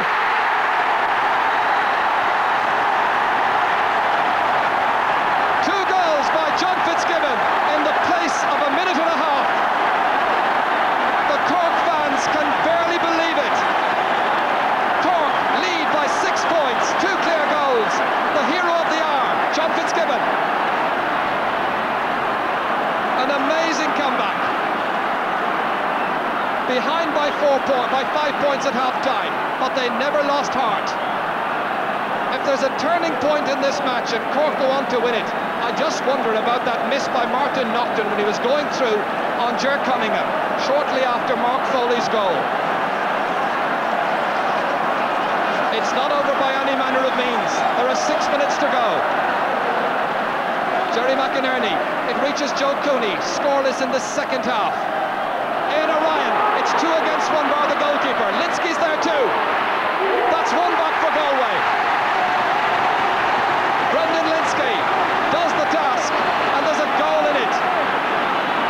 We had a great minor match, and we're having an absolutely brilliant senior final. A lovely pass, taken in his stride, dispatched with ease by Lynskey. 29 minutes gone in the second half. You have to wonder, does any team deserve to lose this final? But it's there to be won and lost now in the last six minutes. Cork ahead by a goal. This is Cathal Casey. Stopped by Dermot Fahy. Picked up brilliantly by John Fitzgibbon, enjoying a great spell. And Tomas Mulcahy, the team captain, has put it over the bar. Cork lead by four points. He's had a terrific final, the team captain. Mulcahy, the scorer of a goal and two points. Cork with five goals, Galway with two, but there's just one between them, a solitary goal separating the sides, plus a point. Tom Monaghan. Oh, it's one that Galway really needed. This is a severe test of Galway's strength and resolve now. Time is running out for them. The outsiders from Cork. Who looked a little jittery against Kerry in the opening round of the Munster Championship, did better against Waterford, were terrific against Tip, did enough against Antrim, and they've responded in magnificent fashion in this final. Are they about to win their 27th All-Ireland hurling title? Ollie Kilkenny sees it come down off his stick too. The waiting Gerry McInerney takes the return. Still Ollie Kilkenny going forward, restrained by Teddy McCarthy. McCarthy who's played his part with those three memorable points. This is Jim Cashman. He's had a great second half. Down towards Kevin Hennessy. Cork have already put five goals past John Commins and Galway in trouble again. But Tomas Mulcahy couldn't steer it on target.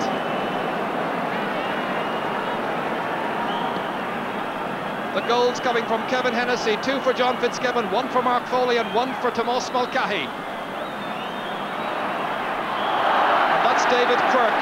Cork fans will be pleased to see his inclusion because he played well in an unfamiliar position for him during the Munster Championship at right half forward, but back now at his best position of left half back.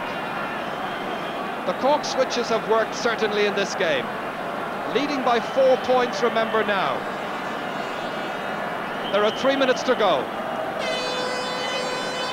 David Quirke will take the free on his own 65-metre line. Cork has certainly made the most of their chances. In again, and this is Ger Fitzgerald being restrained. The referee allows an advantage, and the ball has gone wide. Cork fans in particular will have to live on their nerves just a little bit longer. But Galway people must be absolutely devastated. They were cruising away with this match for so long. But Cork's heart and commitment was not to be denied. Now, can Galway get themselves back in the match? That's one back for Martin Naughton. There's a goal in the match. Four points now for Martin Naughton. A good contribution.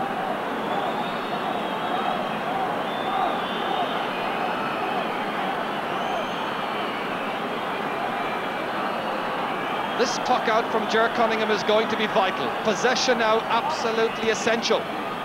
Galway have to get possession here and set up an attack of their own if they're to stay in this match. John Fitzgibbon. It runs on to Tony O'Sullivan. It's looking very good for Cork as Tony O'Sullivan slots over his second point of the afternoon in this 103rd All-Ireland hurling final. Four points the margin.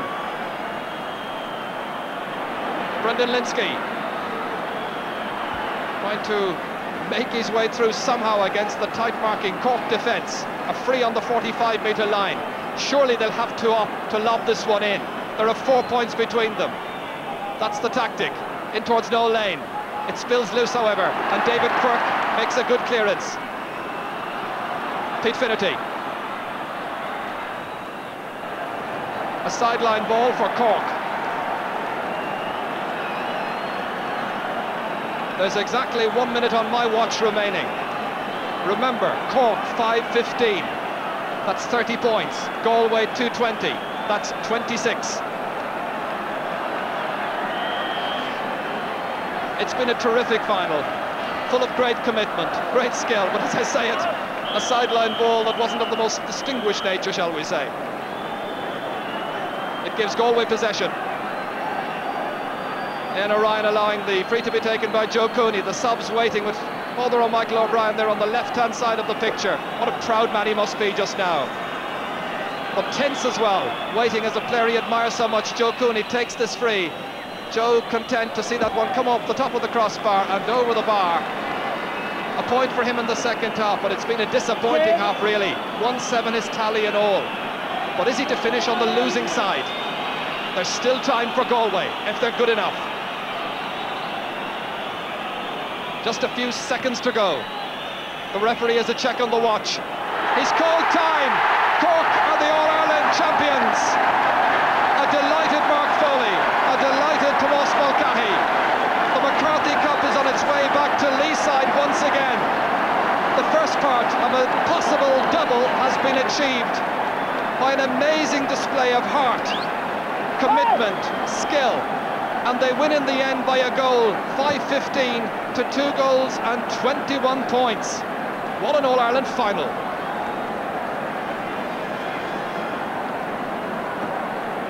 Well, it's been a sweet and satisfying win, I'm sure, for the team coach, although Michael O'Brien and the Bishop of Cloyne there, I'm sure, is very pleased indeed. But it's the players who've done it all. Tomas Mulcahy, one of the heroes this afternoon. John Fitzgibbon's two goals inside a minute and a half were vital after 27 and 28 and a half minutes. Frank Murphy, one of the selectors, very, very pleased with himself. Well, we have to say, not many of us, and I include myself in that, expected this team to win today's final. But they certainly have answered their critics. They've come back in devastating fashion. And that was as good an All-Ireland win as I've seen. Cork's 27th All-Ireland win. We were telling you before this match that Father Michael O'Brien has a Gluaisdán which reads 90C 27. As somebody said to me last night, if we win this All-Ireland, Father O'Brien had better get a new car for next year. Teddy, weary, delighted, elated I'm sure as well. And perhaps back in two weeks with the footballers. He's set to rejoin that squad very shortly. Three points his contribution. Ger Fitzgerald facing the music, an interview we'll have maybe on the Sunday game tonight. Talking to Jim Carney. But really, it was a victory achieved against the odds. I'd go so far as to say it was one of the most remarkable of Cork's 27 wins. A triumph for all concerned, a coach with a list of achievements as long as one's arm. The patience and the judgment of the selectors, Liam O'Tuama, Frank Murphy, Dennis Hurley, associated with many great sides, Bishop Buckley there, auxiliary Bishop of Cork, a hurling man and a pleased man, I'm sure, and Martin Coleman, the goalkeeper in the 70s, a selector as well, along with their genial trainer, Gerald McCarthy the message to be taken, I think, from this final seems never underestimate Cork in September in Croker. Down in the dumps last year, but scaling the peaks in 1990. And now the Corkonians must begin to wonder whether that double of hurling and football is on once more. It was last achieved by Cork in 1890. That's a final we're also looking forward to, a final you'll be able to share with us live in two weeks' time. Cork v Meath. That should be another great game. This has certainly been a great one. Tomas Mulcahy, who got that goal nine minutes into the second half. To add to the point, he contributed as well. A Glen Rovers man. Won a county title in Cork last year. And now in the happy position of going up to receive the Liam McCarthy Cup, named after another Cork man but you have to wonder about Galway. They must be absolutely shell-shocked and shattered. They look to have that final one. They were playing so well for so much of the game, but they missed an awful lot of chances. Cork did their homework well, did some necessary running repairs to the team along the way. Ger Cunningham here certainly had another great game by his standards. Watch us now as the cup is about to be presented by GAA President John Dowling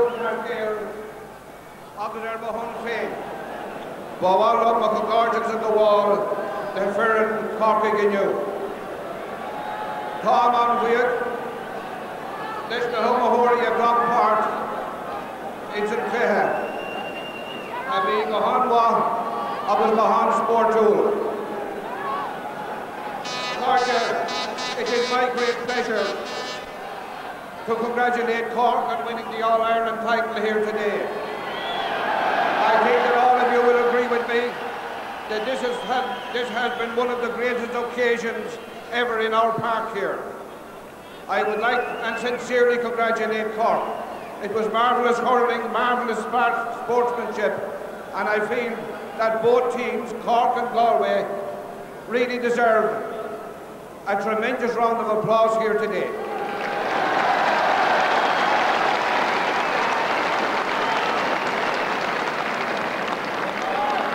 This was hurling at its best, hurling at its very best, hurling that was so sporting that one would love to see it again tomorrow. But that cannot be. There has to be a winner and there has to be a loser. So let us salute Cork on their magnificent win. But remember, let us also salute the men from Galway who helped provide such a magnificent spectacle. Well done, Galway. We're proud of you.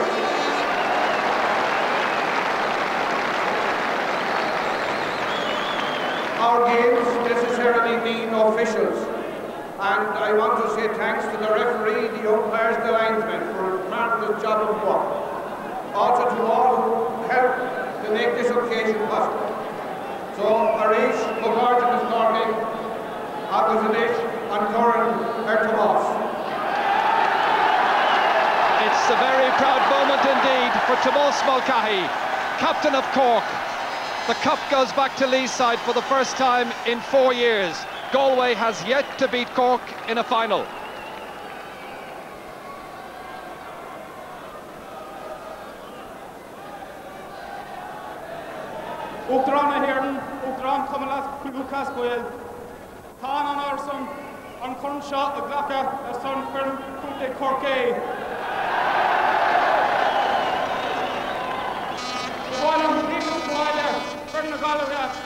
galile a thu chluthe an sportú doing enough.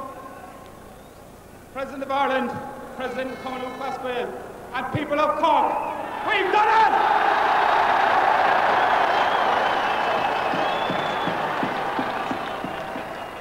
I'd like to thank a few people on behalf of the team because since last October we're on the road to bringing back the McCarthy Cup to Cork and we've achieved it.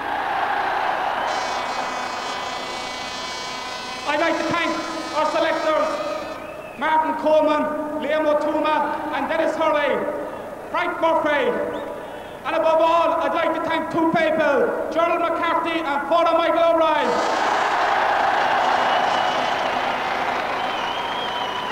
After this, he might be canonized as Saint Father Michael. I'd like to pay tribute to a gallant Galway team. They've had a bit of a luck in finals, but we came up here today with one thing in mind, and that was to win.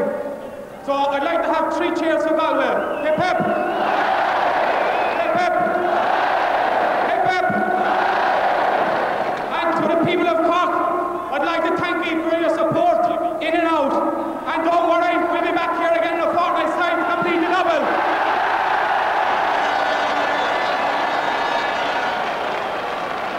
Emotional speeches. John Dowling, I think, said it all as president of the GAA. It was a credit to both teams. Father Michael O'Brien extremely pleased with his team as he watches them now make their way up here. Jim Cashman, he settled down. He had a really tough task on his hands, but he played a blinder. Tomas Mulcahy supervising the action. That's Shawley McCarthy. His sister Marion won eight All-Ireland Camogie medals, so there's another medal going to the McCarthy household. That's young David Quirke, 20 years of age. Very pleased. Cathal Casey made big contribution. Tony O'Sullivan, a very fine forward indeed. And Sean O'Gorman, who was a sub for so often, but opportunity knocked on this occasion for him. Ger Cunningham, very pleased. And Mark Foley, who found his touch and got a great goal. Brendan O'Sullivan, who's played his heart out throughout this campaign. Denis Walsh, the dual player. Well, he really got the measure of Noel Lane in the second half. He had to. More of the subs, Pat Buckley and Father Michael O'Brien there. Exchanging a greeting with Liam Mulvihill. Ger Fitzgerald, proud as punch. Now an Aer Lingus employee here in Dublin, and he's been flying down to many of the training sessions. There's Gerald. Very, very pleased men. John Fitzgibbon there, the two-goal hero of the second half. Tom Kingston, the reserve goalkeeper.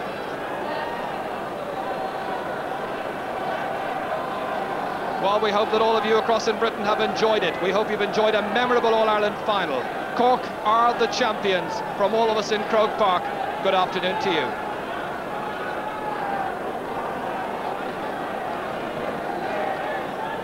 A little while yet. While here in Croke Park we stay with this All-Ireland final for just a little bit longer.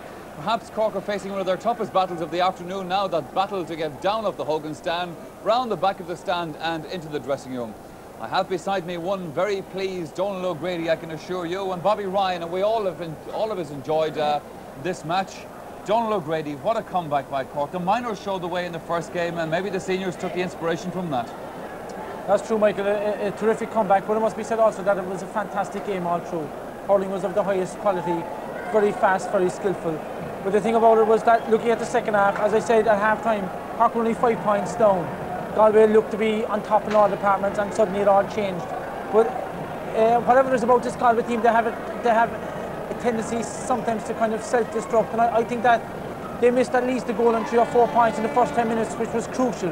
And the more that the game went on, I think Cork, Cork fancied themselves because Galway weren't going any further away from them. And then they got a couple of goals and it was all back in the melting pot, and Galway couldn't get back their rhythm. And But, okay, Donald, well, we will get the views of Bobby Ryan in just a moment. Right now, we have a commercial break to take. Come back, perhaps, to wonder where it all went wrong. Let me go back to my panel again of Donald Grady and Bobby Ryan. We heard from Donald before the break. Bobby, in the second half, one significant factor uh, in this turnabout for Cork, I felt, were Ger Cunningham's puckouts. He was hitting tremendous puck outs. They were coming all the way down here into the Galway defence and was causing havoc. That's right. So you, you, had, you had the biggest hitter in the game in Ger Cunningham. But I, didn't think actually it could work. We were just talking about that at halftime because Keady is so strong under the ball. But Tomas Mulcahy, when he came out on Keady, you know, he didn't maybe, maybe catch it, but he stopped um, he stopped uh, from catching the ball. And a, a lot of broken play came around then, and you have Kevin Hennessy and John Fitzgibbon nigging in around and caused a lot of problems around the full back line then. I felt, Bobby, that Stuart Cunningham, the puck father expert, was actually hitting it beyond the half back line, which was the problem. He was hitting it into a no man's land between the half backs and in front of the full back line. This, if, you, if you go back and do it, this was what was happening, you see. Tony Heath was pulled back almost in on top of Sean Treacy, confusion, and Tomas Mulcahy did a great job in the sense that he was not so much catching the ball, but breaking the ball, and the ball was uh, lying around for guys like Sullivan to hover in around and, and get it. They got some lovely scores out of that. I know that Tipperary folk might occasionally begrudge it, but there is one thing you cannot deny Cork. They have an ability and a spirit and a pride, perhaps, in the red and white to come out in the most difficult situations and play like champions, and that's what they are. Superb. They came up. They came up today with uh, no hopers. I said it here three weeks ago, but uh, that you know Galway I would fancy. I said it last night, but at the same time, Cork Cork, and you just can't wipe them out. You know the same in the minor game. They're, you know the Red Devils. You know that's what they are, and, and the superb team, great character.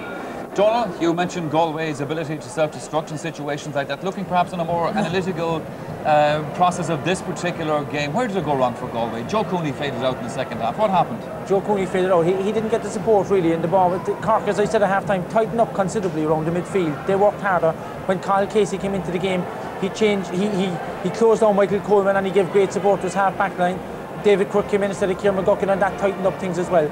But from the long puck outs, they were breaking and we got a couple of lucky scores. Tomas Mulcahy came on to one breaking ball and stuck it. Yeah. And then the, the pressure came on the Galway full back. Yeah, that was see, the this it. an aspect of it, Donald, that Galway conceded five goals today. Four of those goals were conceded by the full back line. We're going to have a look at some of those scores now because you've been talking to them. And this is something that Galway are going to go away and question about and wonder exactly why they let that happen. Well, the thing was that Cork were exerting more pressure as the game went on. And John Fitzgibbon in particular, he's a great he's a great goal getter. That's his job inside the 14. He, and this is a long puck out from Yeah. Ger. I think this is Tomas Mulcahy's goal where you'll see where it breaks on there off Ger Fitzgerald as far as I know and he just comes onto the ball rather luckily. But that's his job. And Sure. he controls it well and gives John Commins no chance. The only chance John Commins had there was to come out to him actually at that what Ger Cunningham did against Martin Upton. A Yeah. great goal. Lifted Cork at the time that they needed lifting. Yeah, well, we saw him score a goal like that in 1986 and he's repeated the performance today for Cork.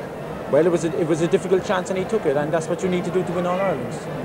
They were superbly taking scores by the full forward line. And what impressed me about them was when they got the ball in situation there that they had the strength and conviction to burst their way in, basically, in, into, in front of goal. Well, you this was a great score from Mark Foley, where he turns and just puts it away. See, Yeah, he will have been particularly pleased with this because he wasn't really in this game, Donald. no, in the first no, he, he was he was out of it completely. Tony Keady totally dominated him. But the thing was, you have Mark Foley, Tomas Mulcahy, Kevin Hennessy, and John Fitzgibbon. They're all very strong players.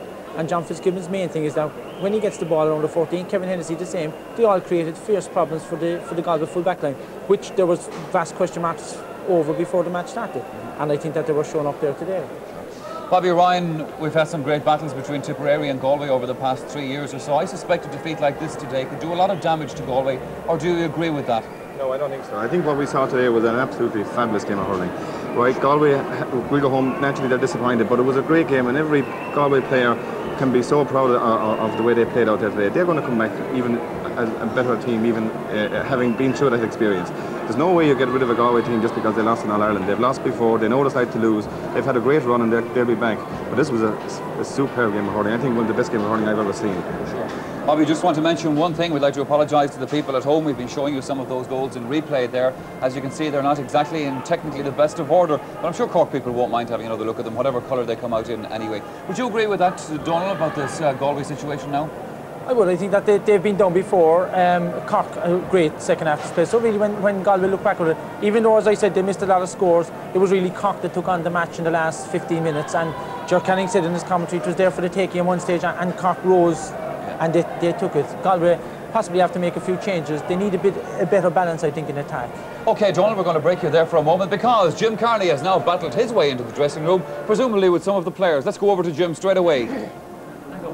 Well, in a crowded but happy, happy dressing room, I'd like to speak first with Tomas Mulcahy. It's the dream of every hurler to play for his county, Tomas. It's a bigger dream to captain your county. What's it like to captain your county to the McCarthy Cup? Um, it's just a wonderful feeling at the moment, Jim, and uh, I don't think it's, it's sunk in yet. I suppose some, sometime tomorrow morning. But we're just happy for everybody that's involved. Better balance, I think, in attack. Okay, Donald, we're going to break you there for a moment because Jim Carney has now battled his way into the dressing room, presumably with some of the players. Let's go over to Jim straight away. Well, in a crowded but happy, happy dressing room, I'd like to speak first with Tomas Mulcahy. It's the dream of every hurler to play for his county, Tomas. It's a bigger dream to captain your county. What's it like to captain your county to the McCarthy Cup? Um, it's just a wonderful feeling at the moment, Jim, and uh, I don't think it's, it's sunk in yet. I suppose some, sometime tomorrow morning. But we're just happy for everybody that's involved in the team, the selectors, the panel. We carry this 26 panel, and we've trained hard since uh, October, and I think we deserved it today. My friend Dr. Con Murphy in Cork said a couple of minutes ago that it was thrilling to win and thrilling to watch such a great game from the dugout. On the field, how did it feel to you, Tomas? Um, from the very start, uh, Jim, it was very warm out there. I think uh, there wasn't a puff of air there. I think there was a lot of water being thrown around. Uh, but um, there's 70 minutes. It's very fast. It's a short time. You come in a half time and back out again, you know. So we're just happy that. And your own goal, Tomas, shades of a few years ago. Well, no matter who gets one today, Jim wants to go win, you know. And uh, I'm just happy for the rest of the lads. To a banker, a nice lodgement in the bank. Oh yeah, definitely so. Well, Kevin Hennessy. Kevin Hennessy, they said before once or twice that maybe you weren't the man that you were. I don't know what that meant, but what do you think of it today? They were probably right previous days, you know. I mean, there's- all, it, look, the game boils down to if the ball bounces for you in the day.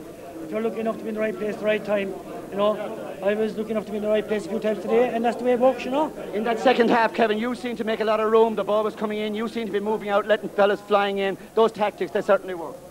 Well, they worked today. Other days they mind the work. We tried hard, and uh, they came off today. And when they come off, you nothing can go wrong, you know. Thanks very much, uh, Kevin, well done. Gerard Fitzgerald, we've met twice already today. It's nice to talk to you again. Uh, Gerard, they say that you're a calm kind of fella, laid back, but you must have a stirring in your heart right now.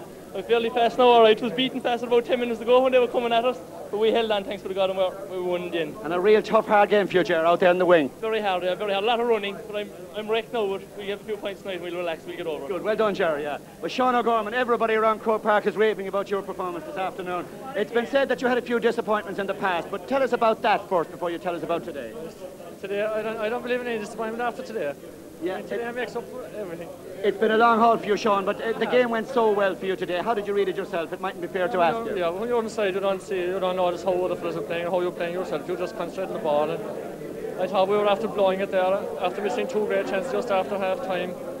And I thought our chance was gone, really, honestly I did. But there's great spirit. Father mine has, and Joel here has terrible, tremendous spirit on his side, and there was no give up. We kept playing away all the time. I we never gave up, and that was what won it for us for the finish. I think. As a player, Sean, did you feel, as everybody did around the ground, that it was played at a very fast Oh, it was fantastic.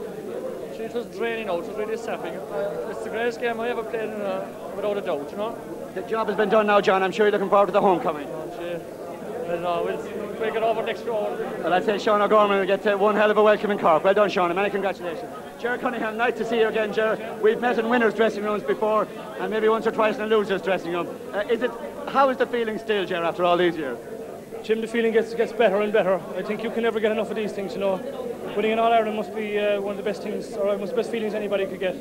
Fantastic feeling. They say sometimes, in all sports, that goalies have to be a bit mad, but I'd say right now you're, you're, you're mad with happiness. It was fantastic. I think it was a great, great team performance, you know. The lads outside deserve great credit. Uh, I'm glad for everyone, for the team, backroom staff, for the supporters. Uh, they wrote us off again today like Thurles. I think we proved the point today. Well done, Gerard. Thanks, Jim. Well, Gerald McCarthy, I'm delighted to see you, Gerald, a great friend of mine down through the years. I was a wonderful admirer of yours as a player, and it's exciting to see you back here as, as a mentor now. Gerald, it was a little difficult for you today, Gerald, because you probably longed to be out there yourself. Well, I don't know about that, Jim, really. The, the, the pace of that game today was really tremendous. Um, I, I think, quite honestly, all lads deserve great credit. Uh, to come seven points down in an All-Ireland final, uh, when you went into it as underdogs in the first place to begin with, it's a fantastic effort on behalf of the lads. But while we were a little worried before half-time, we always felt that the lads did have that capacity to come back, and they proved it in the second half. There's nothing wrong with Cork hurling, and I hope the people who wrote us off throughout the year will have another look at Cork hurling and see it's not too Yeah, bad. as your minors, a sensational comeback in the minor game. So, Gerald, I'd say you have no fears about the future of the old game down there. No, it was a tremendous game day for Cork hurling. Really. Well, now tell us a little about this man who's beside you, Father O'Brien. This man, it is rumoured, might have to go to Rome to have the whole thing ratified out there. and you'll go with me as my chauffeur. Well done, Gerald. They do say that there's a chance of him being canonised, but there's certainly no chance of me, I think. Well done, Gerald. Many congratulations, yes. Father Michael O'Brien, in many ways, uh, this is the Players' Day, but in some ways, too, it's Father O'Brien's Day. Uh, everybody in Cork has waited for you to be up here with the McCarthy Cup winning team because you pretty much win, won everything else with them.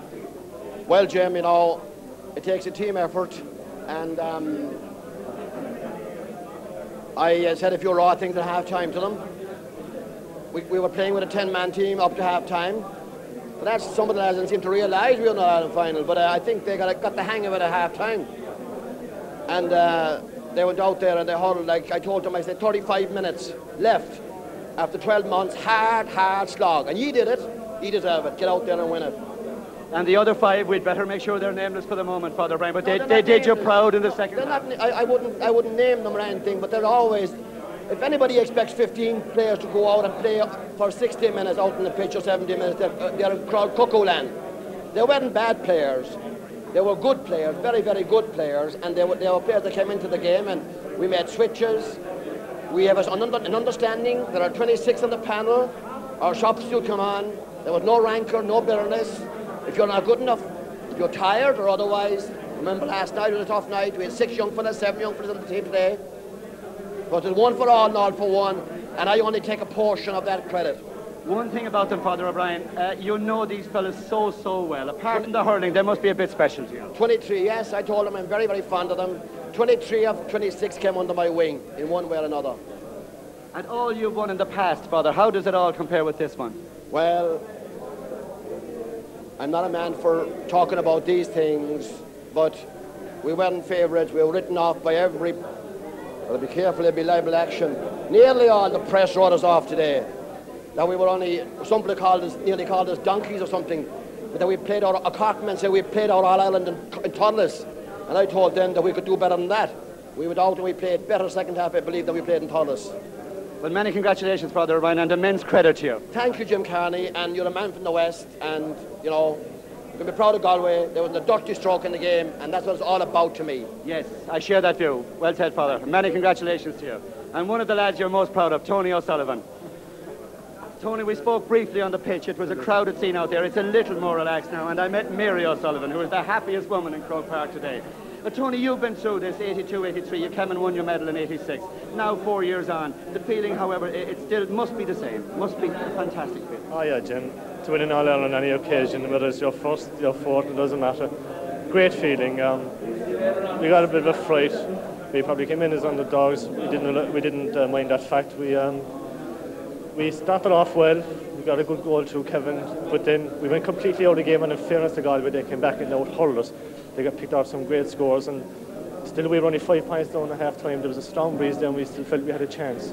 We came out after half time, and um, you know we probably missed a few scores, but we didn't panic, which is probably the main thing. And then a few switches in the attack, and um, we it all started worked like a dream, yeah. Well, Tony, a great tradition. 27 All Irelands now, and uh, the footballers, of course, successful too. There must be something special about going back to Cork after winning. Oh yeah, it's, it's, it's a fantastic occasion, yeah. And in fairness to supporters, like um, the um, the all down through the year when probably nobody gave us a chance at the start of the year. I'd say you'd like to see them out tomorrow night. Oh yeah, we're looking forward to that. yeah. Well, Tony, you'll be proud of them and they'll be proud of you, and deservedly so. Well done, Tony O'Sullivan. Back now to the studio. I was just trying to remember there if I'd said anything bad about Cork in the last few weeks. I'd hate to have a priest curse down on top of me. Now, earlier we were trying to show you those goals that Cork scored in the second half. Goals, goals, goals, Donald O'Grady. That's what this game was all about. There were seven, a couple to Galway, five to Cork. You started scoring goals, you finished scoring goals, and by golly, the ones you finished with were the most important ones. Yeah, this is this is one coming up now where Ger Cunningham hit down an, an enormous ball and it just broke between uh, Jeff Fitz and Tomas Mull. Luckily enough came onto it and edge of the square and banged it home. John Commins made the only chance he had really was to come out against him and, and hope that it would go off his body. But a great goal and it lifted Cork. This was another important one, of course, Bobby, because after Tomas Mulcahy's goal, Cork was still four points down, but Mark Foley's one really started to turn things around. Yes, but a great ball from Kevin Henry. Yeah. Passed the ball across and, and Mark caught it very well and slipped it into the far corner. Gave Commins no chance either. Donald O'Grady, they weren't finished yet, more to come. Oh, this, this was a, a very pleasing one, really, where Mark Foley sent it across. And uh, John Fitzgibbon and Kevin Hennessy went towards it and it broke behind John Treacy and John Fitzgibbon. And he's from he's deadly, really. How much he puts it away into the corner, look. No chance for John Commins right in there. There, there wasn't a chance in hell of, of, of, saving that. Great goals, really, for, for Cork. And that's what won the title for them in the end. Well, Bobby Ryan, there was still more to come from Cork, but really at this stage, the writing was on the wall for Galway. Cork were in full flight. That's right. Great cross here from from uh, Kevin Hennessy. I think Fitzgibbon did, did very well here to control himself. Uh, I don't know, a question mark about the amount of steps he took with that ball, but he really butted away. I don't want to take from, from, from the goal to the fine goal, but I think I counted about, I think it was about seven or eight steps. okay, well, I think there's one man who should be mentioned at this stage, Donald O'Grady, and that's John Commins on the Galway goal, because he'd be wondering how five goals went past him today. He played very well other than that. Well, it's, it's just, a, it, you see, you have to have a special relation between the full back line and the goalkeeper, and I think he didn't get the best of cover, mm. but at the same time, eh, there's a question mark over the first goal, whether he was at fault or not. I mean, the thing is, I yeah, couldn't sure. see it from this end of the pitch, but if he felt he was, maybe he might have dented his confidence a little. Mm -hmm. And um, he could have advanced, I thought, to Tomas Mulcahy, maybe that was the only chance he had to block it, whereas he stood in the line, and that's fatal for a goalkeeper. But let me add as well, Michael, that I wasn't one of the people who tipped Galway for this match, even before the match. I said just, uh, I had a right, slight fancy for Cork. I want to nail that one. Passing on quickly, Bobby Ryan, there is another aspect of this game which we must not forget. Tipperary, of course, are still a good side. They'll be back again flying next year, I'm sure. Cork are now the All-Ireland champions. It sets up a huge championship in Munster next year and one that you must already be looking forward to. Well, I am indeed. It, it reverses the roles really in a sense. Pressure's going to be on Cork next year. Uh, they're the ones that are going to have to do, um, they're, they're the champions, so right, we, are going to come out. We've had a, a reprieve this year. We're out of the championship. We've had a long break. So now we're going to take the league seriously, whereas Cork will probably relax a bit. We've got to find a few players, and uh, it's going to be a great Munster final because I think it's going to be tipping Cork. Does it change your approach? Now, you mentioned that having to take the league seriously. Does the fact that Cork are Munster and All Ireland champions now have to change your entire approach to the championship next year? It will, of course, because we have to. Um, we have to build our team. We're still looking for players all the time. So uh, once the final comes around, uh, but to do well in the league is important when you're building a team. And we, right, obviously we have to look for some, some more players. Cork are going to sit back and uh, I, I, don't think they'll take the league seriously. We certainly didn't take it last year because you can't continue. When you win in All Ireland, you have to have a break. You have to close and say, right, stop, and then start again the, early in the spring.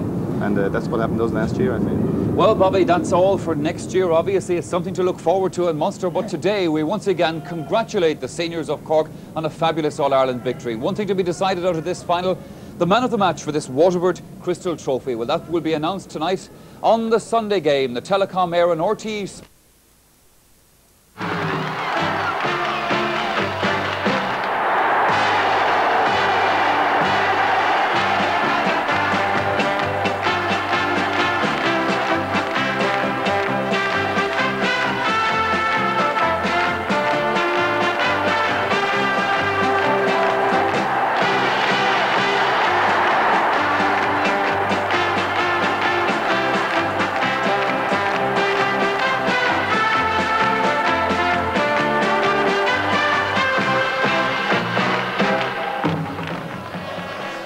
fans are jubilant after this afternoon's All-Ireland hurling final at Croke Park. They said it couldn't be done, but Liam McCarthy is going home.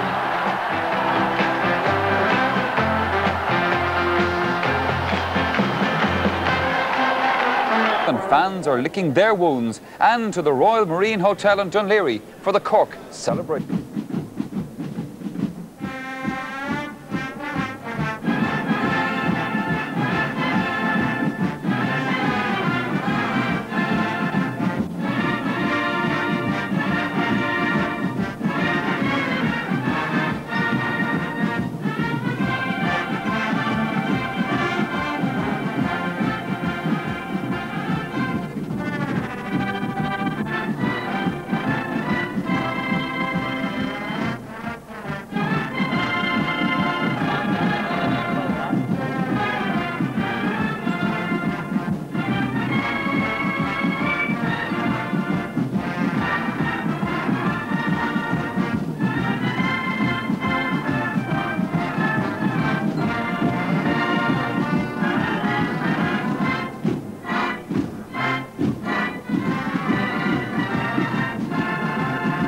From our viewers and the naming of our Telecom Éireann RTE Sport Man of the Match. Mentioning thoughts from the viewers, our phone calls have been coming in hot and heavy today. Uh, general opinion is that the match was a great one today. Paddy McAvoy from Castlewellan, County Down, told us the game was magic and had a tremendous atmosphere, even though he had to pay £60 for a Hogan stand ticket on the black market. 13-year-old Joel McSweeney from Gurtnascarthy, Coolay, County Cork was moved to poetry but what he, by what he saw on the television screen. He wrote, Roses are red, the Cork jersey is too. Cork's just beaten Galway and they'll beat Meath too. May not be the greatest of poetry, but his heart's in the right place. OK, let's go to our panellists tonight then, Nicholas English and Kieran Barr. Nicky, it was a great game of hurling, and especially, I suppose, if you were a Cork man or woman. Yeah, it was, it was a very enjoyable game from a, neutral point of view, but I mean, it must go down as one of Cork's great All-Ireland triumphs. They've won five matches to get their triumph, and it was fantastic. They, they displayed great spirit, and it was a superb display. Especially from the starting point they made at the beginning of the summer, when nobody would have given them any chance of being Munster champions, let alone All Ireland champions. That's right. They had, they had a very tough game the last day, of course, to get over Tipperary. but um, it, it, I mean, they they were underdogs in the Munster final, and people wrote them off again coming up to this yeah. game, you know, and, and they proved everybody wrong in the finish. Mm -hmm. Well, sure, Kieran, I'm sure that you will agree with that fully, but maybe we look at it from a Galway point of view with you, and they will be stunned and sickened this evening by their defeat. What went wrong for Galway? Were Cork just too good for them in the end, or did they just let it slip somewhere? Very hard to say. Um, I think that uh, maybe people overrate, overrated Galway coming into this final because they had to beat Offaly, who, um, as Nicholas maybe has forgotten, Cork had to beat Antrim to get to the final. And uh, maybe that's what's happening. People are disregarding uh, some of the opponents these teams have to play. But I think Galway uh, can look back on this game and say it takes two, two teams to make a very good game, and it takes two exceptional teams to make a great game. And today's was a great game. And uh, Cyril Farrell, I think, was very apt in his comments that he said that uh, there were two good teams that bounced the ball, beat them. Kevin Hennessy said that as well. And I think Galway have got great depth and skill and power. And if Antrim had two All Irelands at this stage in the 80s, we'd be very happy. Sure. It's been an unusual thing, I suppose, for Cork to go in as underdogs to Galway ever, but that's the way it was today. Cork needed a good start to this game, and they got a dream start to it. Yeah, they, they got a fantastic start. They needed to get that start. They were underdogs. They had six or seven fellas playing in their first All-Ireland final. Yeah. And they got it again with Kevin Hennessy scoring a, a superb goal. John Fitzgibbon fought well for it here, and it's a fantastic finish by Kevin Hennessy. One touch, and yeah. he struck it really, he struck it really well. Question mark over the Galway backs, though, Nicholas. Yeah, maybe Dermot Fahy was a little bit unsettled there. He, he got a chance to clear it, and he didn't. But uh, it was very well taken goal. Well, Kieran, it was the worst possible start, obviously, from Galway. People were saying then, well, now Galway, they're really up against it. This is the kind of start they didn't want to give away. But they, their side responded, and this must surely have encouraged the Galway supporters, not to mention the team, because they lifted themselves again from that. They did, but it was based on a half-back dominance and Joe Cooney. That's what it was based on. It wasn't based on anything else. There's, uh, Keady running with the ball. And but this is really, I mean, this is stirring stuff. I mean, this is the is, kind of thing to lift any is, team. And that should inspire the rest of the players. But it seemed to be Keady, the rest of the halfbacks, and Cooney who were who were doing the scoring and doing the playing. And guys like Cunningham and Noel Lane and these other guys were, were not really putting away the chances that they should have been. And uh, maybe that's now, in hindsight, we can reflect on that and say, fine, that's good. these guys should have done better at the time. But at that stage, maybe you just don't know what's happening. Sun sure. and the wind factor, I think, as well. Well, Nicky, we just saw Kieran.